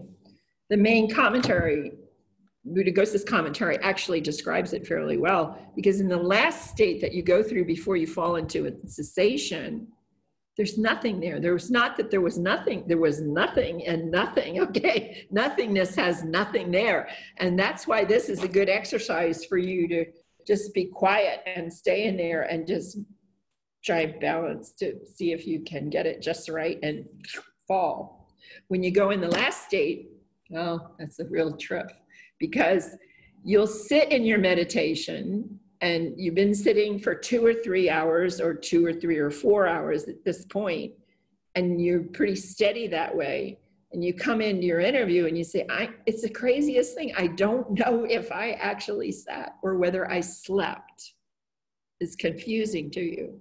You don't know what you did but then we'll tell you to take a walk. And when you take a walk you are to, will tell you, you are to recall in your mind, tell your mind, I want to recall what happened in that sitting. And you just keep walking and listen to what happens or see inside what happened. And the moment you see something or remember something, I remember there was a blue light, you 6R. No questions, no involvement, no analysis. You, you 6R. And then next thing is I saw line patterns that were lines like this. I saw pat. Okay, 6R. Next next thing pops up. You would say something, you know, the same thing. Just 6R, 6R, 6R, 6R, 6R. What are you doing? You are emptying the cup completely. Absolutely, completely emptying the cup so that you're preparing yourself for what happens when you go into cessation, okay? And we won't go into that today. Okay, any questions on any of these questions so far? Anybody? Hello? I see Deepa. So, yeah. So what you just mentioned, uh, is there a way to even train the mind while we are sleeping at night? Um, what's happening to you with sleep patterns when you're practicing, you know, towards that is your sleep hours diminish. They just diminish away, okay? So you're sleeping very little where you were sleeping, say, eight hours before. And as you start practicing to actually uh, use the path, and the intention is to, you know, to reach uh, that level, you can um, set yourself up to go to sleep, but you don't want to think at all. So you the way you allow the whole thing to be natural, like with nature, you would lie down in the bed and say, okay, to the brain, it's time to sleep. You sleep. Right away, though, right away, you go. And this is actually, do you remember when, you remember when I gave you the um, people to work on, right? The other people, remember? Yes. Do you remember what I said to you about what that was actually for?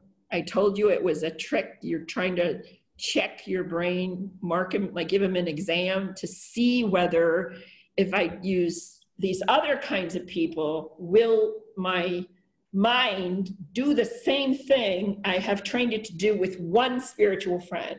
That's what we were testing. Remember, I told you that. Yes. That's really what that's for.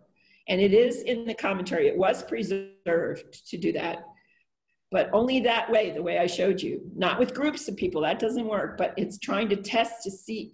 I call it the dog trick. Did the dog learn the dog trick, the brain, you know? And will it do it again and do it again and do it again? Whether it's a black person, white person, yellow person, pink person, red person, doesn't matter. Whether it's a male or a female or a man on the moon or a disabled person, a beautiful person, an ugly person, will it do it? And that's what you were testing. Okay when you go to sleep, you can use this for incredibly good sleep by just learning to lie down at night and say, okay, go to sleep. And you can also tell your brain one other thing. You say, go to before we, I will go to sleep and I will wake up smiling. Now, go to sleep. And you go to sleep. See? when you wake up, you will wake up fresh and you will smile and you'll notice there's no normal. Well, my kids freaked out. I visited my kids, and you know, growing up with me, the rule of the house was do not talk to mother in the morning unless she has her coffee.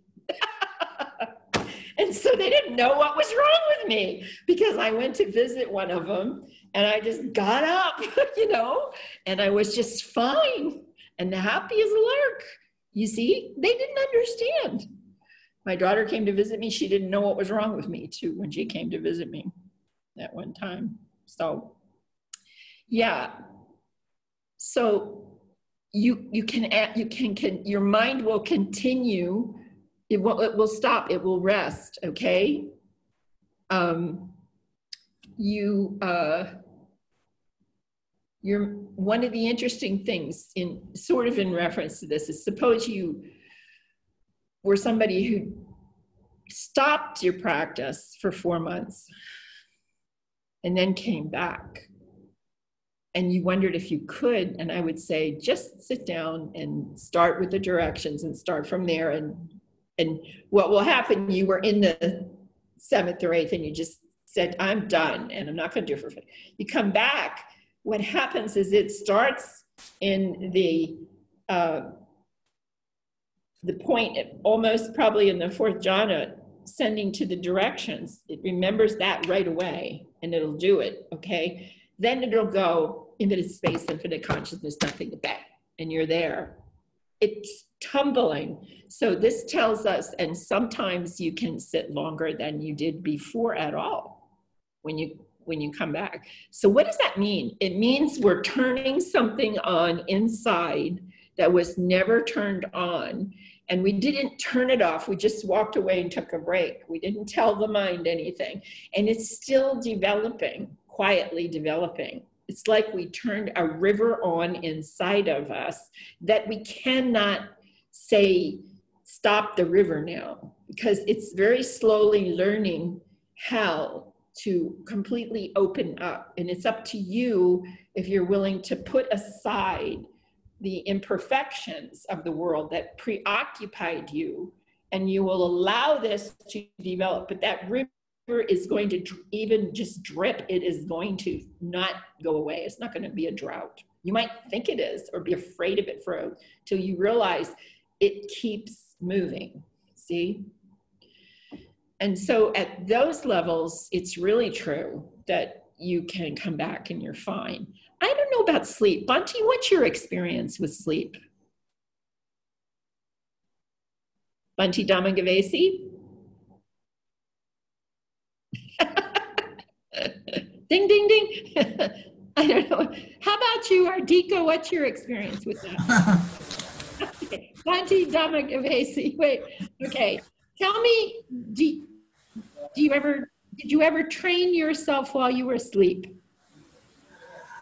train myself uh, not uh, uh, in the dream thing but i used to do that uh, there was another other uh, practice i was doing yeah but i was thinking in i was thinking deeper in the sense of okay you will remain calm for the night that's a form of training and seeing how much your mind is willing to communicate with you once you go through the the level of the other people you realize what I said to you. It's like the mind really understands how to do this. So now you know you have opened, you have a phone to your mind. you see, so now you know at nighttime you can say, practice being calm and equanimous all night. And I'll wake up in the morning with a smile. Now go to sleep. So does this mean that there won't be any dreams because there there is the dreams will dreams will stop pretty much. They eventually stop. Um, you know, if you're not practicing, they might come back some, but they don't ever come back really forcefully with people that I've talked to about that. Um, they might have had really bad time before. Um, but they don't come back forcefully, but they might come back some, you know. And that was good news for one person in Russia because we taught her how to stop sleepwalking. She stopped sleepwalking. We did that in four days. But but she did still have restlessness sometimes unless she did what we told her to do. Okay? She had to do the Arahant, you know, the Itipiso, Arahant Sammasambuddha, we taught her that. She had to do that. The other thing was if she got the feelings like she had the urge, she could sit up in bed and just go Buddha Dhamma Sangha, Buddha Dhamma Sangha, Buddha Dhamma Sangha, Buddha Dhamma Sangha. She could do that. Or she could recite uh, the one about the the Buddha, the Dhamma, the three gems. There's a recitation. She could do that. But the but the simplest one was just to get her to pick up her beads and do the Arahant Sammasambuddha Vijayacharana Sampanno, to do that one, okay, the nine qualities of the Buddha. But she said that if she stopped doing that before bed, she would get restless. But she wouldn't sleepwalk anymore, which delighted her husband. He really got some rest, you know, because he had to follow her around. And they didn't tell us before they came to the retreat that this was there. And she was walking around the property and then coming back to the building It's kind of weird. That was an interesting group of people, but she, it, it worked. It helped her. Okay. Anybody else? Question? Yeah, Ardika. So, sister, does that actually has anything to do with a, a past experience or um, like a habitual tendency or something that um, like traumatic event or it's just what it was sleepwalking you mean? The yeah. yeah is, is um, how is it how is that even possible actually? I don't know but i know something. If you were to talk to brenda uh, she would probably tell you she's worked with people to stop sleepwalking and you should ask her that question because she has more information on it than i do yeah she does she has good information about that all right good source okay anybody else yeah ulysses um, let me go first. Okay. You're going, yes? Oh, who's, who's going? Let me go first. Okay, Ulysses is going, but you have to um, put your, your mute. No, no, I said let making go first. That's what I said. oh, making? Oh. I'm sorry. I thought you said let me go first. I said, okay. this is great. It's okay. My my name's very confusing. Um, I'll make it quick. Um, suppose oh. uh, mm -hmm. suppose I want to talk about the origination, disappearance, gratification, danger, and escape of all phenomena to um, a seven or nine year old, how would I do that? I have one. Uh, Okay. I, I have one example. I, I always give. Now, seven-year-old's a little young, but nine years old is fine. Nine, ten years Oh. old. sure. I can give one example for a seven-year-old. Okay, go ahead. Uh, that is uh, with an ice cream. Say there is no ice cream. That is the, and the ice cream comes. That is uh, origination. The distribution is the uh, finishing of the ice cream. Uh, the gratification is you enjoy the ice cream. The danger is that the ice cream is impermanent. So it goes, if it starts, you start eating it, it gets finished. The escape is the eightfold path. It is like six R's, uh, we can say Yeah. that uh, eightfold path where it uh, shows us how to get away from the cycle of all the gratification and the danger. So this is the, uh, I think the easier version. Does that help? You get it? Uh, yeah, yeah, I, I help. Uh, what if we want to explain it to someone, uh, a, a kid who knows nothing about Buddhism, so doesn't know anything about Eightfold Path or So you can uh, see that that is what uh, we are saying that uh, if you why- want to put the last step, the last step is the eightfold path.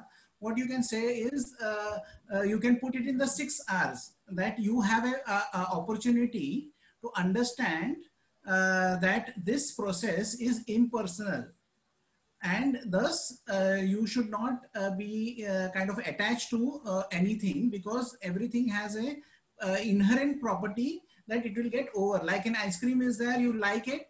The, uh, uh, when you are uh, liking it uh, till that time you can like the ice cream. But when it is getting over you have to realize that that is the nature of things that everything gets over. So you should not be attached. So that that kind of kind of you can uh, think of a kind of a uh, appropriate simile for that Seven years old, don't use attached, use hold on. Hold on to something. You can't hold on to something, okay? Don't hold on to things because everything changes. Everything changes, yeah.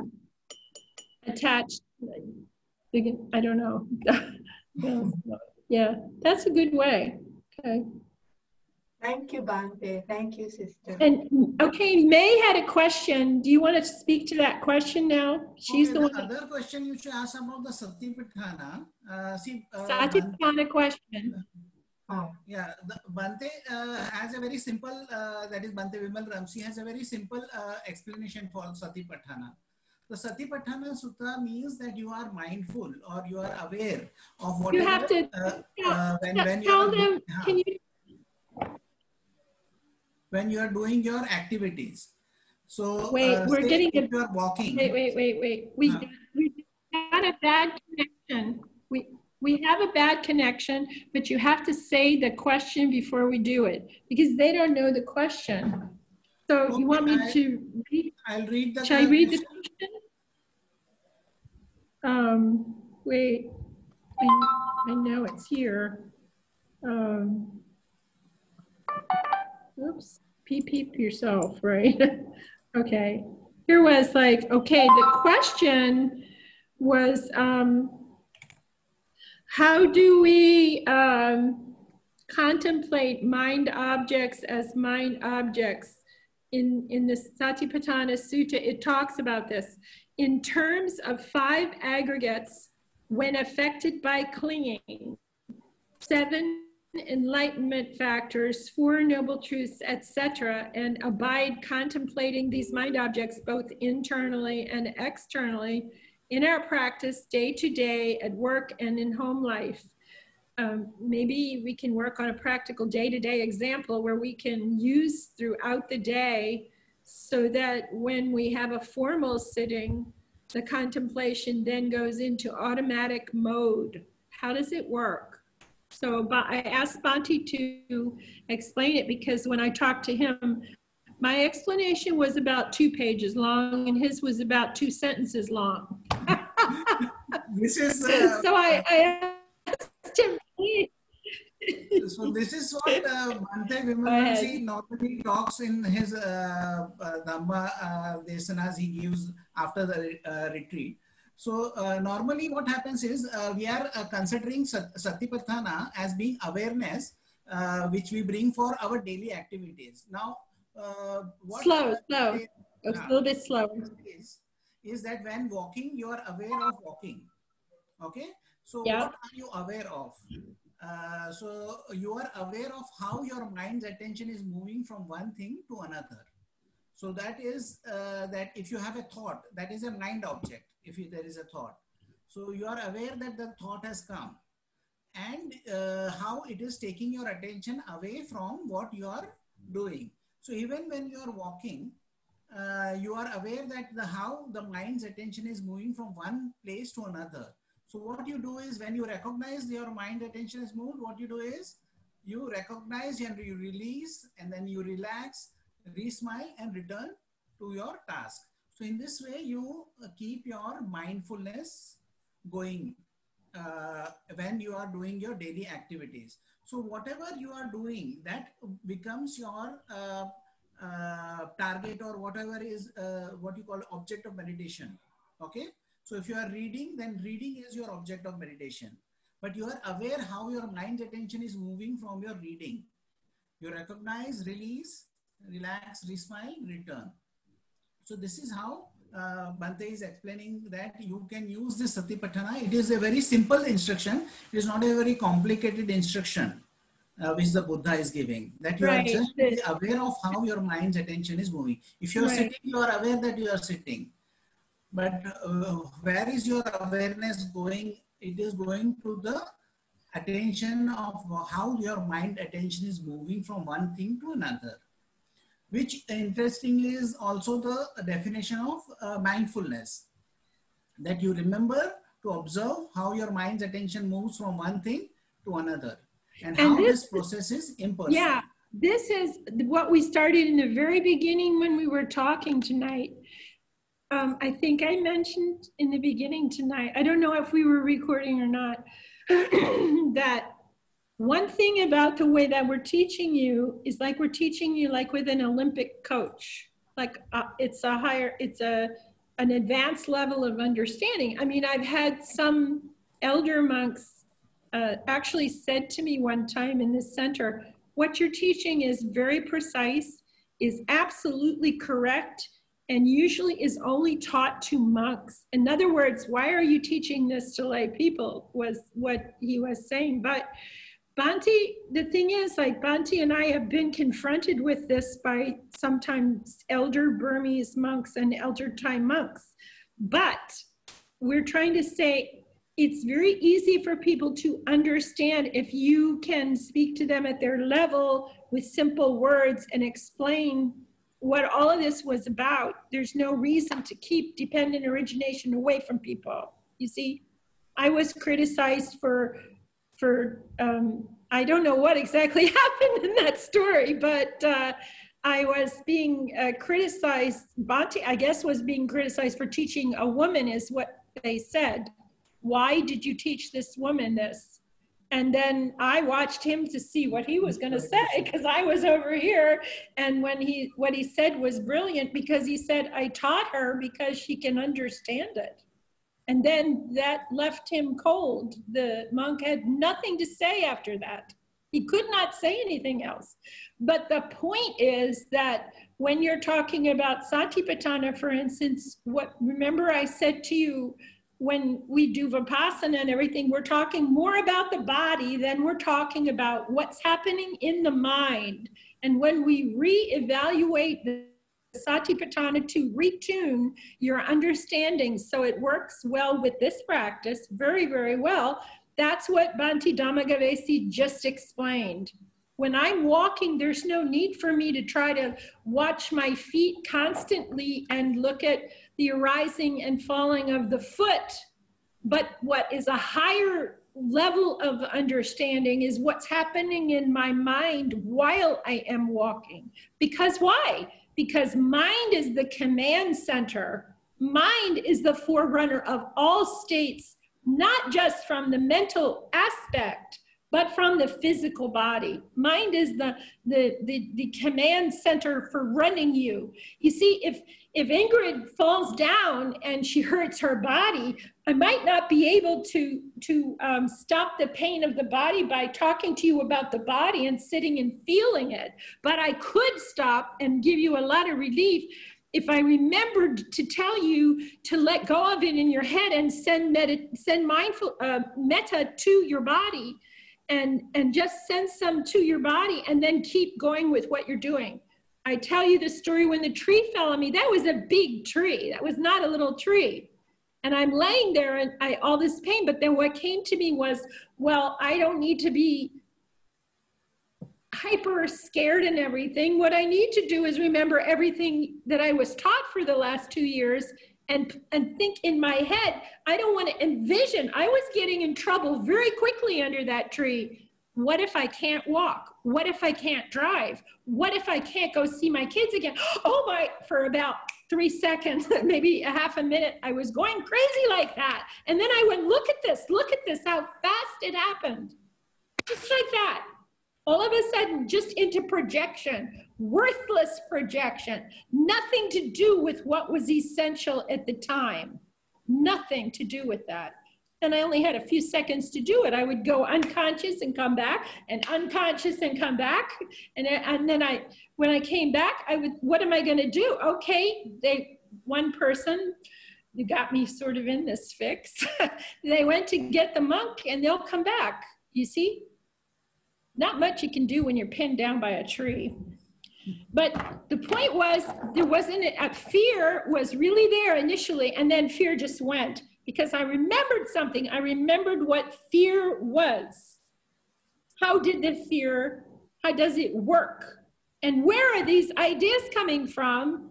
That was coming from when I was in a wheelchair and I couldn't walk and we didn't know what was going to happen with my legs in Washington from some other time. It was just come up just like that, just the same situation. I could tell you that's exactly where it came from, reached in the file, pulled it out, and applied it to being under the tree.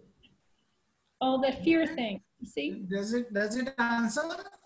Huh? Does it answer your question that Um, I was asking?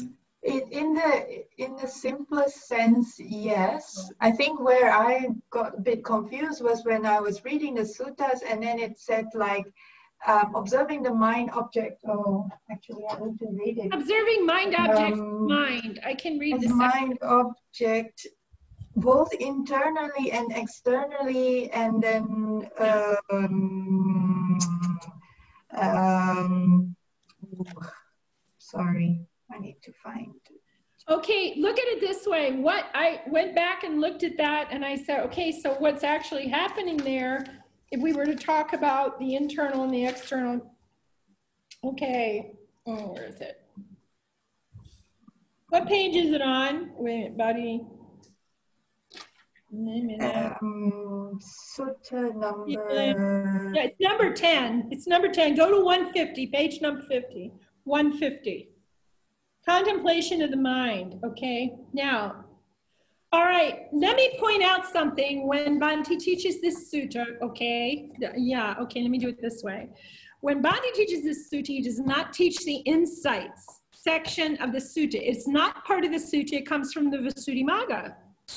And that's what we determined with this. Now, I have to go over this with the Pali teachers. It's one of my pet things. I want to go over it step by step. But these sections are, are part, are coming from the Visuddhimagga. He never teaches these insights when you hear him teach. You can go back to 2003. He never does it from then all the way till now when he teaches Satipatthana. Have- Have you ever heard him do it, Bhante?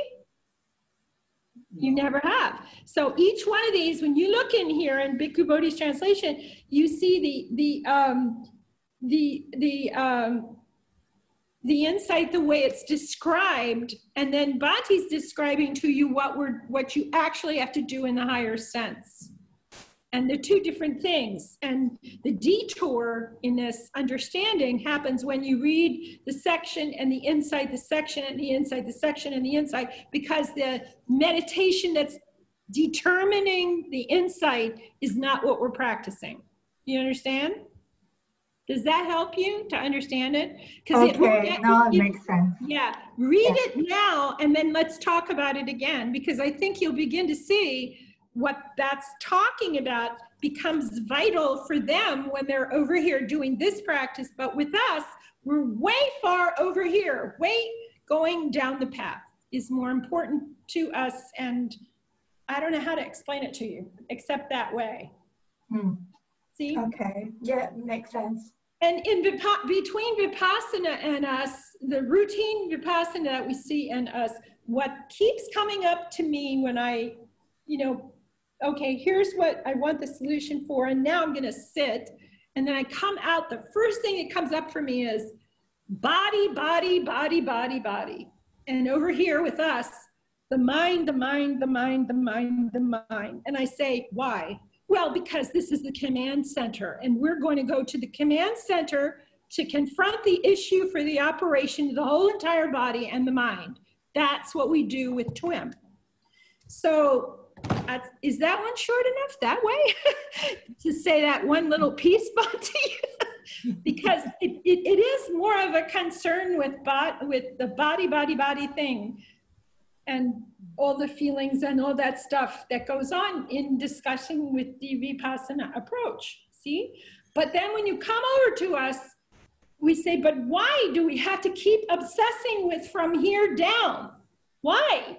When this is the command center, why don't we go directly to the general and question what he needs to know here in order to change our whole life?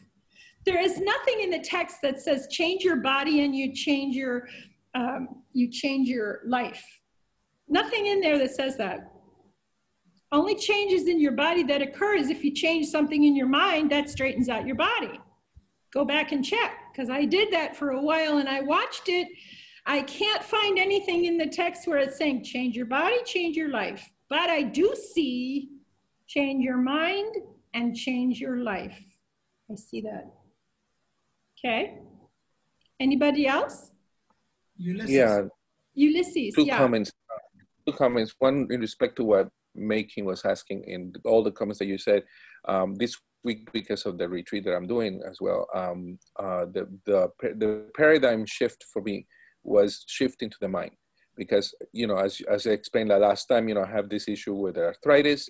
And right now I can, I can feel it, but it's not, I'm not being a slave of this pain anymore. You know, I, it is there somewhere out in the background, but it's not affect. It's not. It's not in my foreground, and as a result, um, I have been able to. Actually, it's been the, the entire week already. I haven't taken any painkillers, and so so um, so the, the arthritis is not running my body. Is not running my activities. I have still been able to type and play the piano and do everything. See Um, that? is there? Yeah, But it's not. It, but it's not in the. Is the, the arthritis is not in the foreground. It's in the background somewhere out there, and it's not important. Yeah, I understand. So that I just want to say that. Yeah, I just wanted to say that because that's that's, that's very relevant to to what Making was asking, and then I think that is true pretty much for everything else as well. Uh, the So only question I had, I Wait, if- oh, we just want to say, so actually, May, if we talk about internal and external, do you see how he went internally to change something externally? Do you see that? With what he just explained. Yes, yes. he went to the internal to change the external. it's That's a what he paradigm shift. It's a paradigm shift because before I was thinking like, you know, how how do I stop the pain? How do you know, like, how do I get rid of the, you know, the psoriasis spots? How do I like? It's all, all about, all about the outside, the outside, the outside. And then when when Sister Khema said to me, she said, no, the, the the command center is up here. It's in the brain. You know, right. um, this tells you, you know, you need to you need to go there. So I went there, and then suddenly the this pain is not running me anymore. So so that yeah, but I did have just one quick question, and I hope that we can have a Yeah. succinct answer because I, I know everybody's watching the time. It's about uh, earlier t- earlier today you were mentioning about uh, something about when we're in, in meditation, and sometimes you can't tell whether you're asleep or um, or you're, you're actually you're actually dis, um, disengaged. Asleep, And asleep then, uh, and then you said, Yeah. yeah, yeah, and then you said, and then you said that when when uh, the way to know was to immediately stand up and walk around, and then there will be a sign that will tell No, you. no, no, that, wait, no, no, um, don't mix know, it up, okay. If Yeah, you're, if that happens to you you're not in that level yet. But if you if you are in that level, you fall into that level. It's neither perceiving nor non-perceiving that you fell into. Grasp that first. Neither perception nor non-perception. So what did it mean? It meant you were in a state that was not sleep.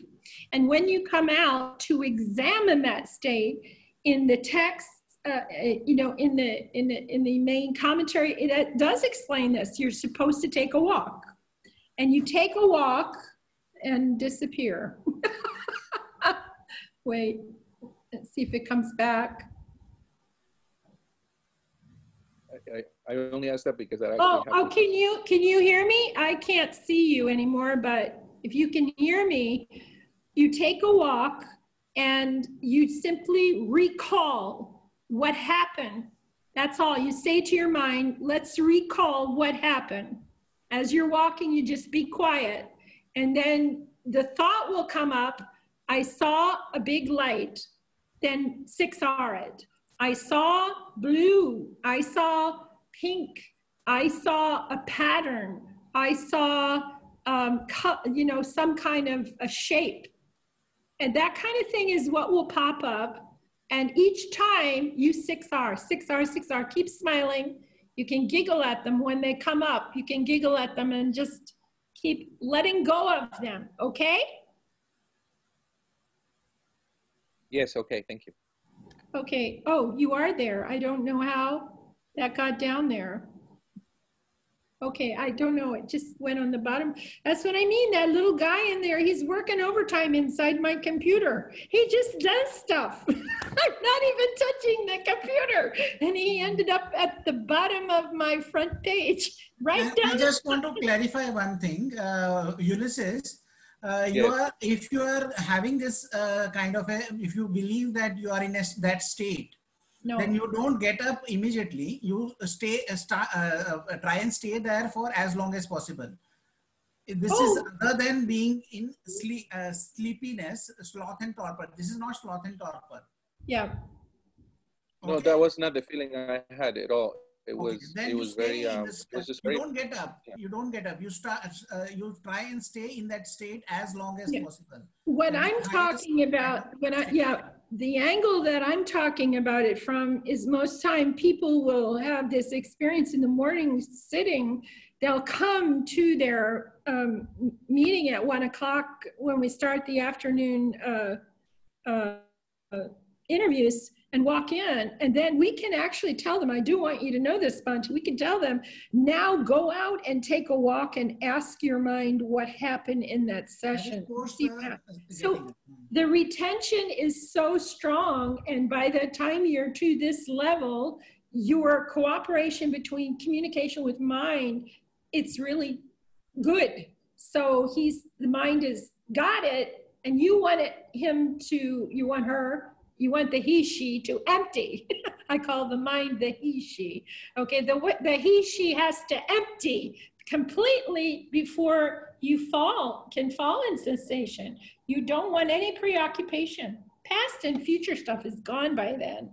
Very few, if any, hindrances are coming up at all in, in nothingness. You see, you can still have hindrance pull you out. And the interesting thing about hindrances is when you're in uh, in these any of the jhanas, one, two, three, four, or infinite space, infinite consciousness, or nothingness, okay, how do we deal with an aware jhana? You're not having the um, the distraction in the jhana. You're you're it pulls you out, and the distraction's happening, and you six R and fall back in because you're aware. You, you understand? So if I kind of drew you a picture, it would be like here's your line, and then there's a distraction. You're up here, and you let it go, and you fall back in and keep going. See, like that, and then uh, again like that. See, but if you would only just embrace the laws that are concerned with the hindrance and the truth of the nature of how it operates, write them down, put them on a poster, put them in the bathroom, put them on the ceiling, put them by the front door. so you keep seeing them until you understand the hindrance has nothing for me. Don't feed the hindrance. The hindrance is just coming to, to, to try to bother me, but it's my decision. The truth is, the hindrance is not to be, you never say the hindrance is bad, it did it to me. You're not allowed to, because if you want the truth about what happens with the hindrance, it's nothing to do with the little hindrance. It's a thought up here. And who decides to leave their object of meditation? I do. And who moves the attention from here up to here? I do. This guy did not come and get me and actually pull me away. It's the language problem. We keep saying that it won my mind wandered from here. We want to blame it on you can't blame it on me. Shh, shh, shh. I didn't say it was your fault. No, don't blame it on me. Okay, it's not your fault. The mind, you want to blame the mind for the hindrance. It's not the mind's fault, and it's not like me, mine, and myself. The hindrance just happens from the brain, see? So you let it go and don't pay any attention to it. And pretty soon it'll know that you don't have strawberries, ice cream, or pizza for it anymore. it just keeps coming over to get your attention. And you finally have to get it to understand the the, the, the, the refrigerator is empty. There's nothing here for you anymore. Okay? Okay. Anybody else have a question? We are already two and a half hours. Uh, do you want to continue? Yeah. are we okay? We are we done? are we done? What's 20? I don't know what 20 is. okay, 17, 18, so that's 7, 8, so it's 8. Oh my, it's almost 9. okay, yes, you have a question, Ingrid, go for it. Oh, I can't hear you. Why can't I hear you? Here. I also can't hear you. No, I can't hear her. So, but her little, it's not, no, Now- I, how do I tell her? Remove mute. What? Oh, no, now, it- okay, Now it is, huh? it's okay. Can, no, Can you remove the headphones? Remove the headphones. take the headphones off.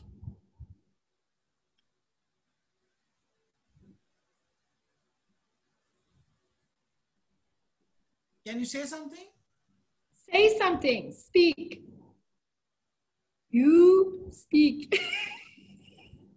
no, I can't hear. I don't, I don't know. Okay, you have to write me a note, okay? Write me a note. I don't write know. in the chat. Uh, Is her volume completely off? Her volume? maybe. Oh, you know, I can't tell you how happy I am. This is happening to somebody else. That's mean. no, but I mean, I'm the only one that has somebody in the computer. Everybody else tells me I'm crazy. Now she has somebody in there fooling around inside. Somebody is inside the computer and trying to. E- email uh, to you. You should, Ingrid, you should email me. Uh, wait a minute, I have to do it this way. I know how to do it. Wait, wait. Um, this is really cool. I do know how to do this. Um, Sister Khema uh, Yeah. at Yahoo. yeah.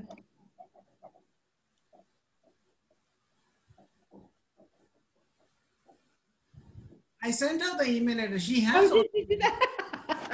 That's okay. Can you get on the chat? On the chat? Oh. There's yeah, she's there on the chat. Okay. There's, okay, what all is on the chat? Okay. Okay. Okay.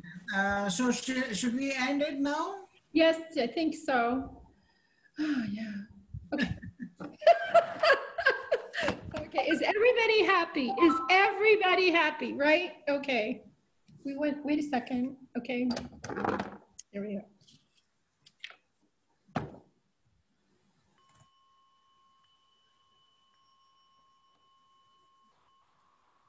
May suffering ones be suffering free, and the fear struck fearless be. May the grieving shed all grief, and may all beings find relief. May all beings share this merit that we have thus acquired for the acquisition of all kinds of happiness. May beings inhabiting space and earth, devas and nagas of mighty power share this merit of ours. May they long protect the Buddha's dispensation. Sadhu, sadhu, sadhu.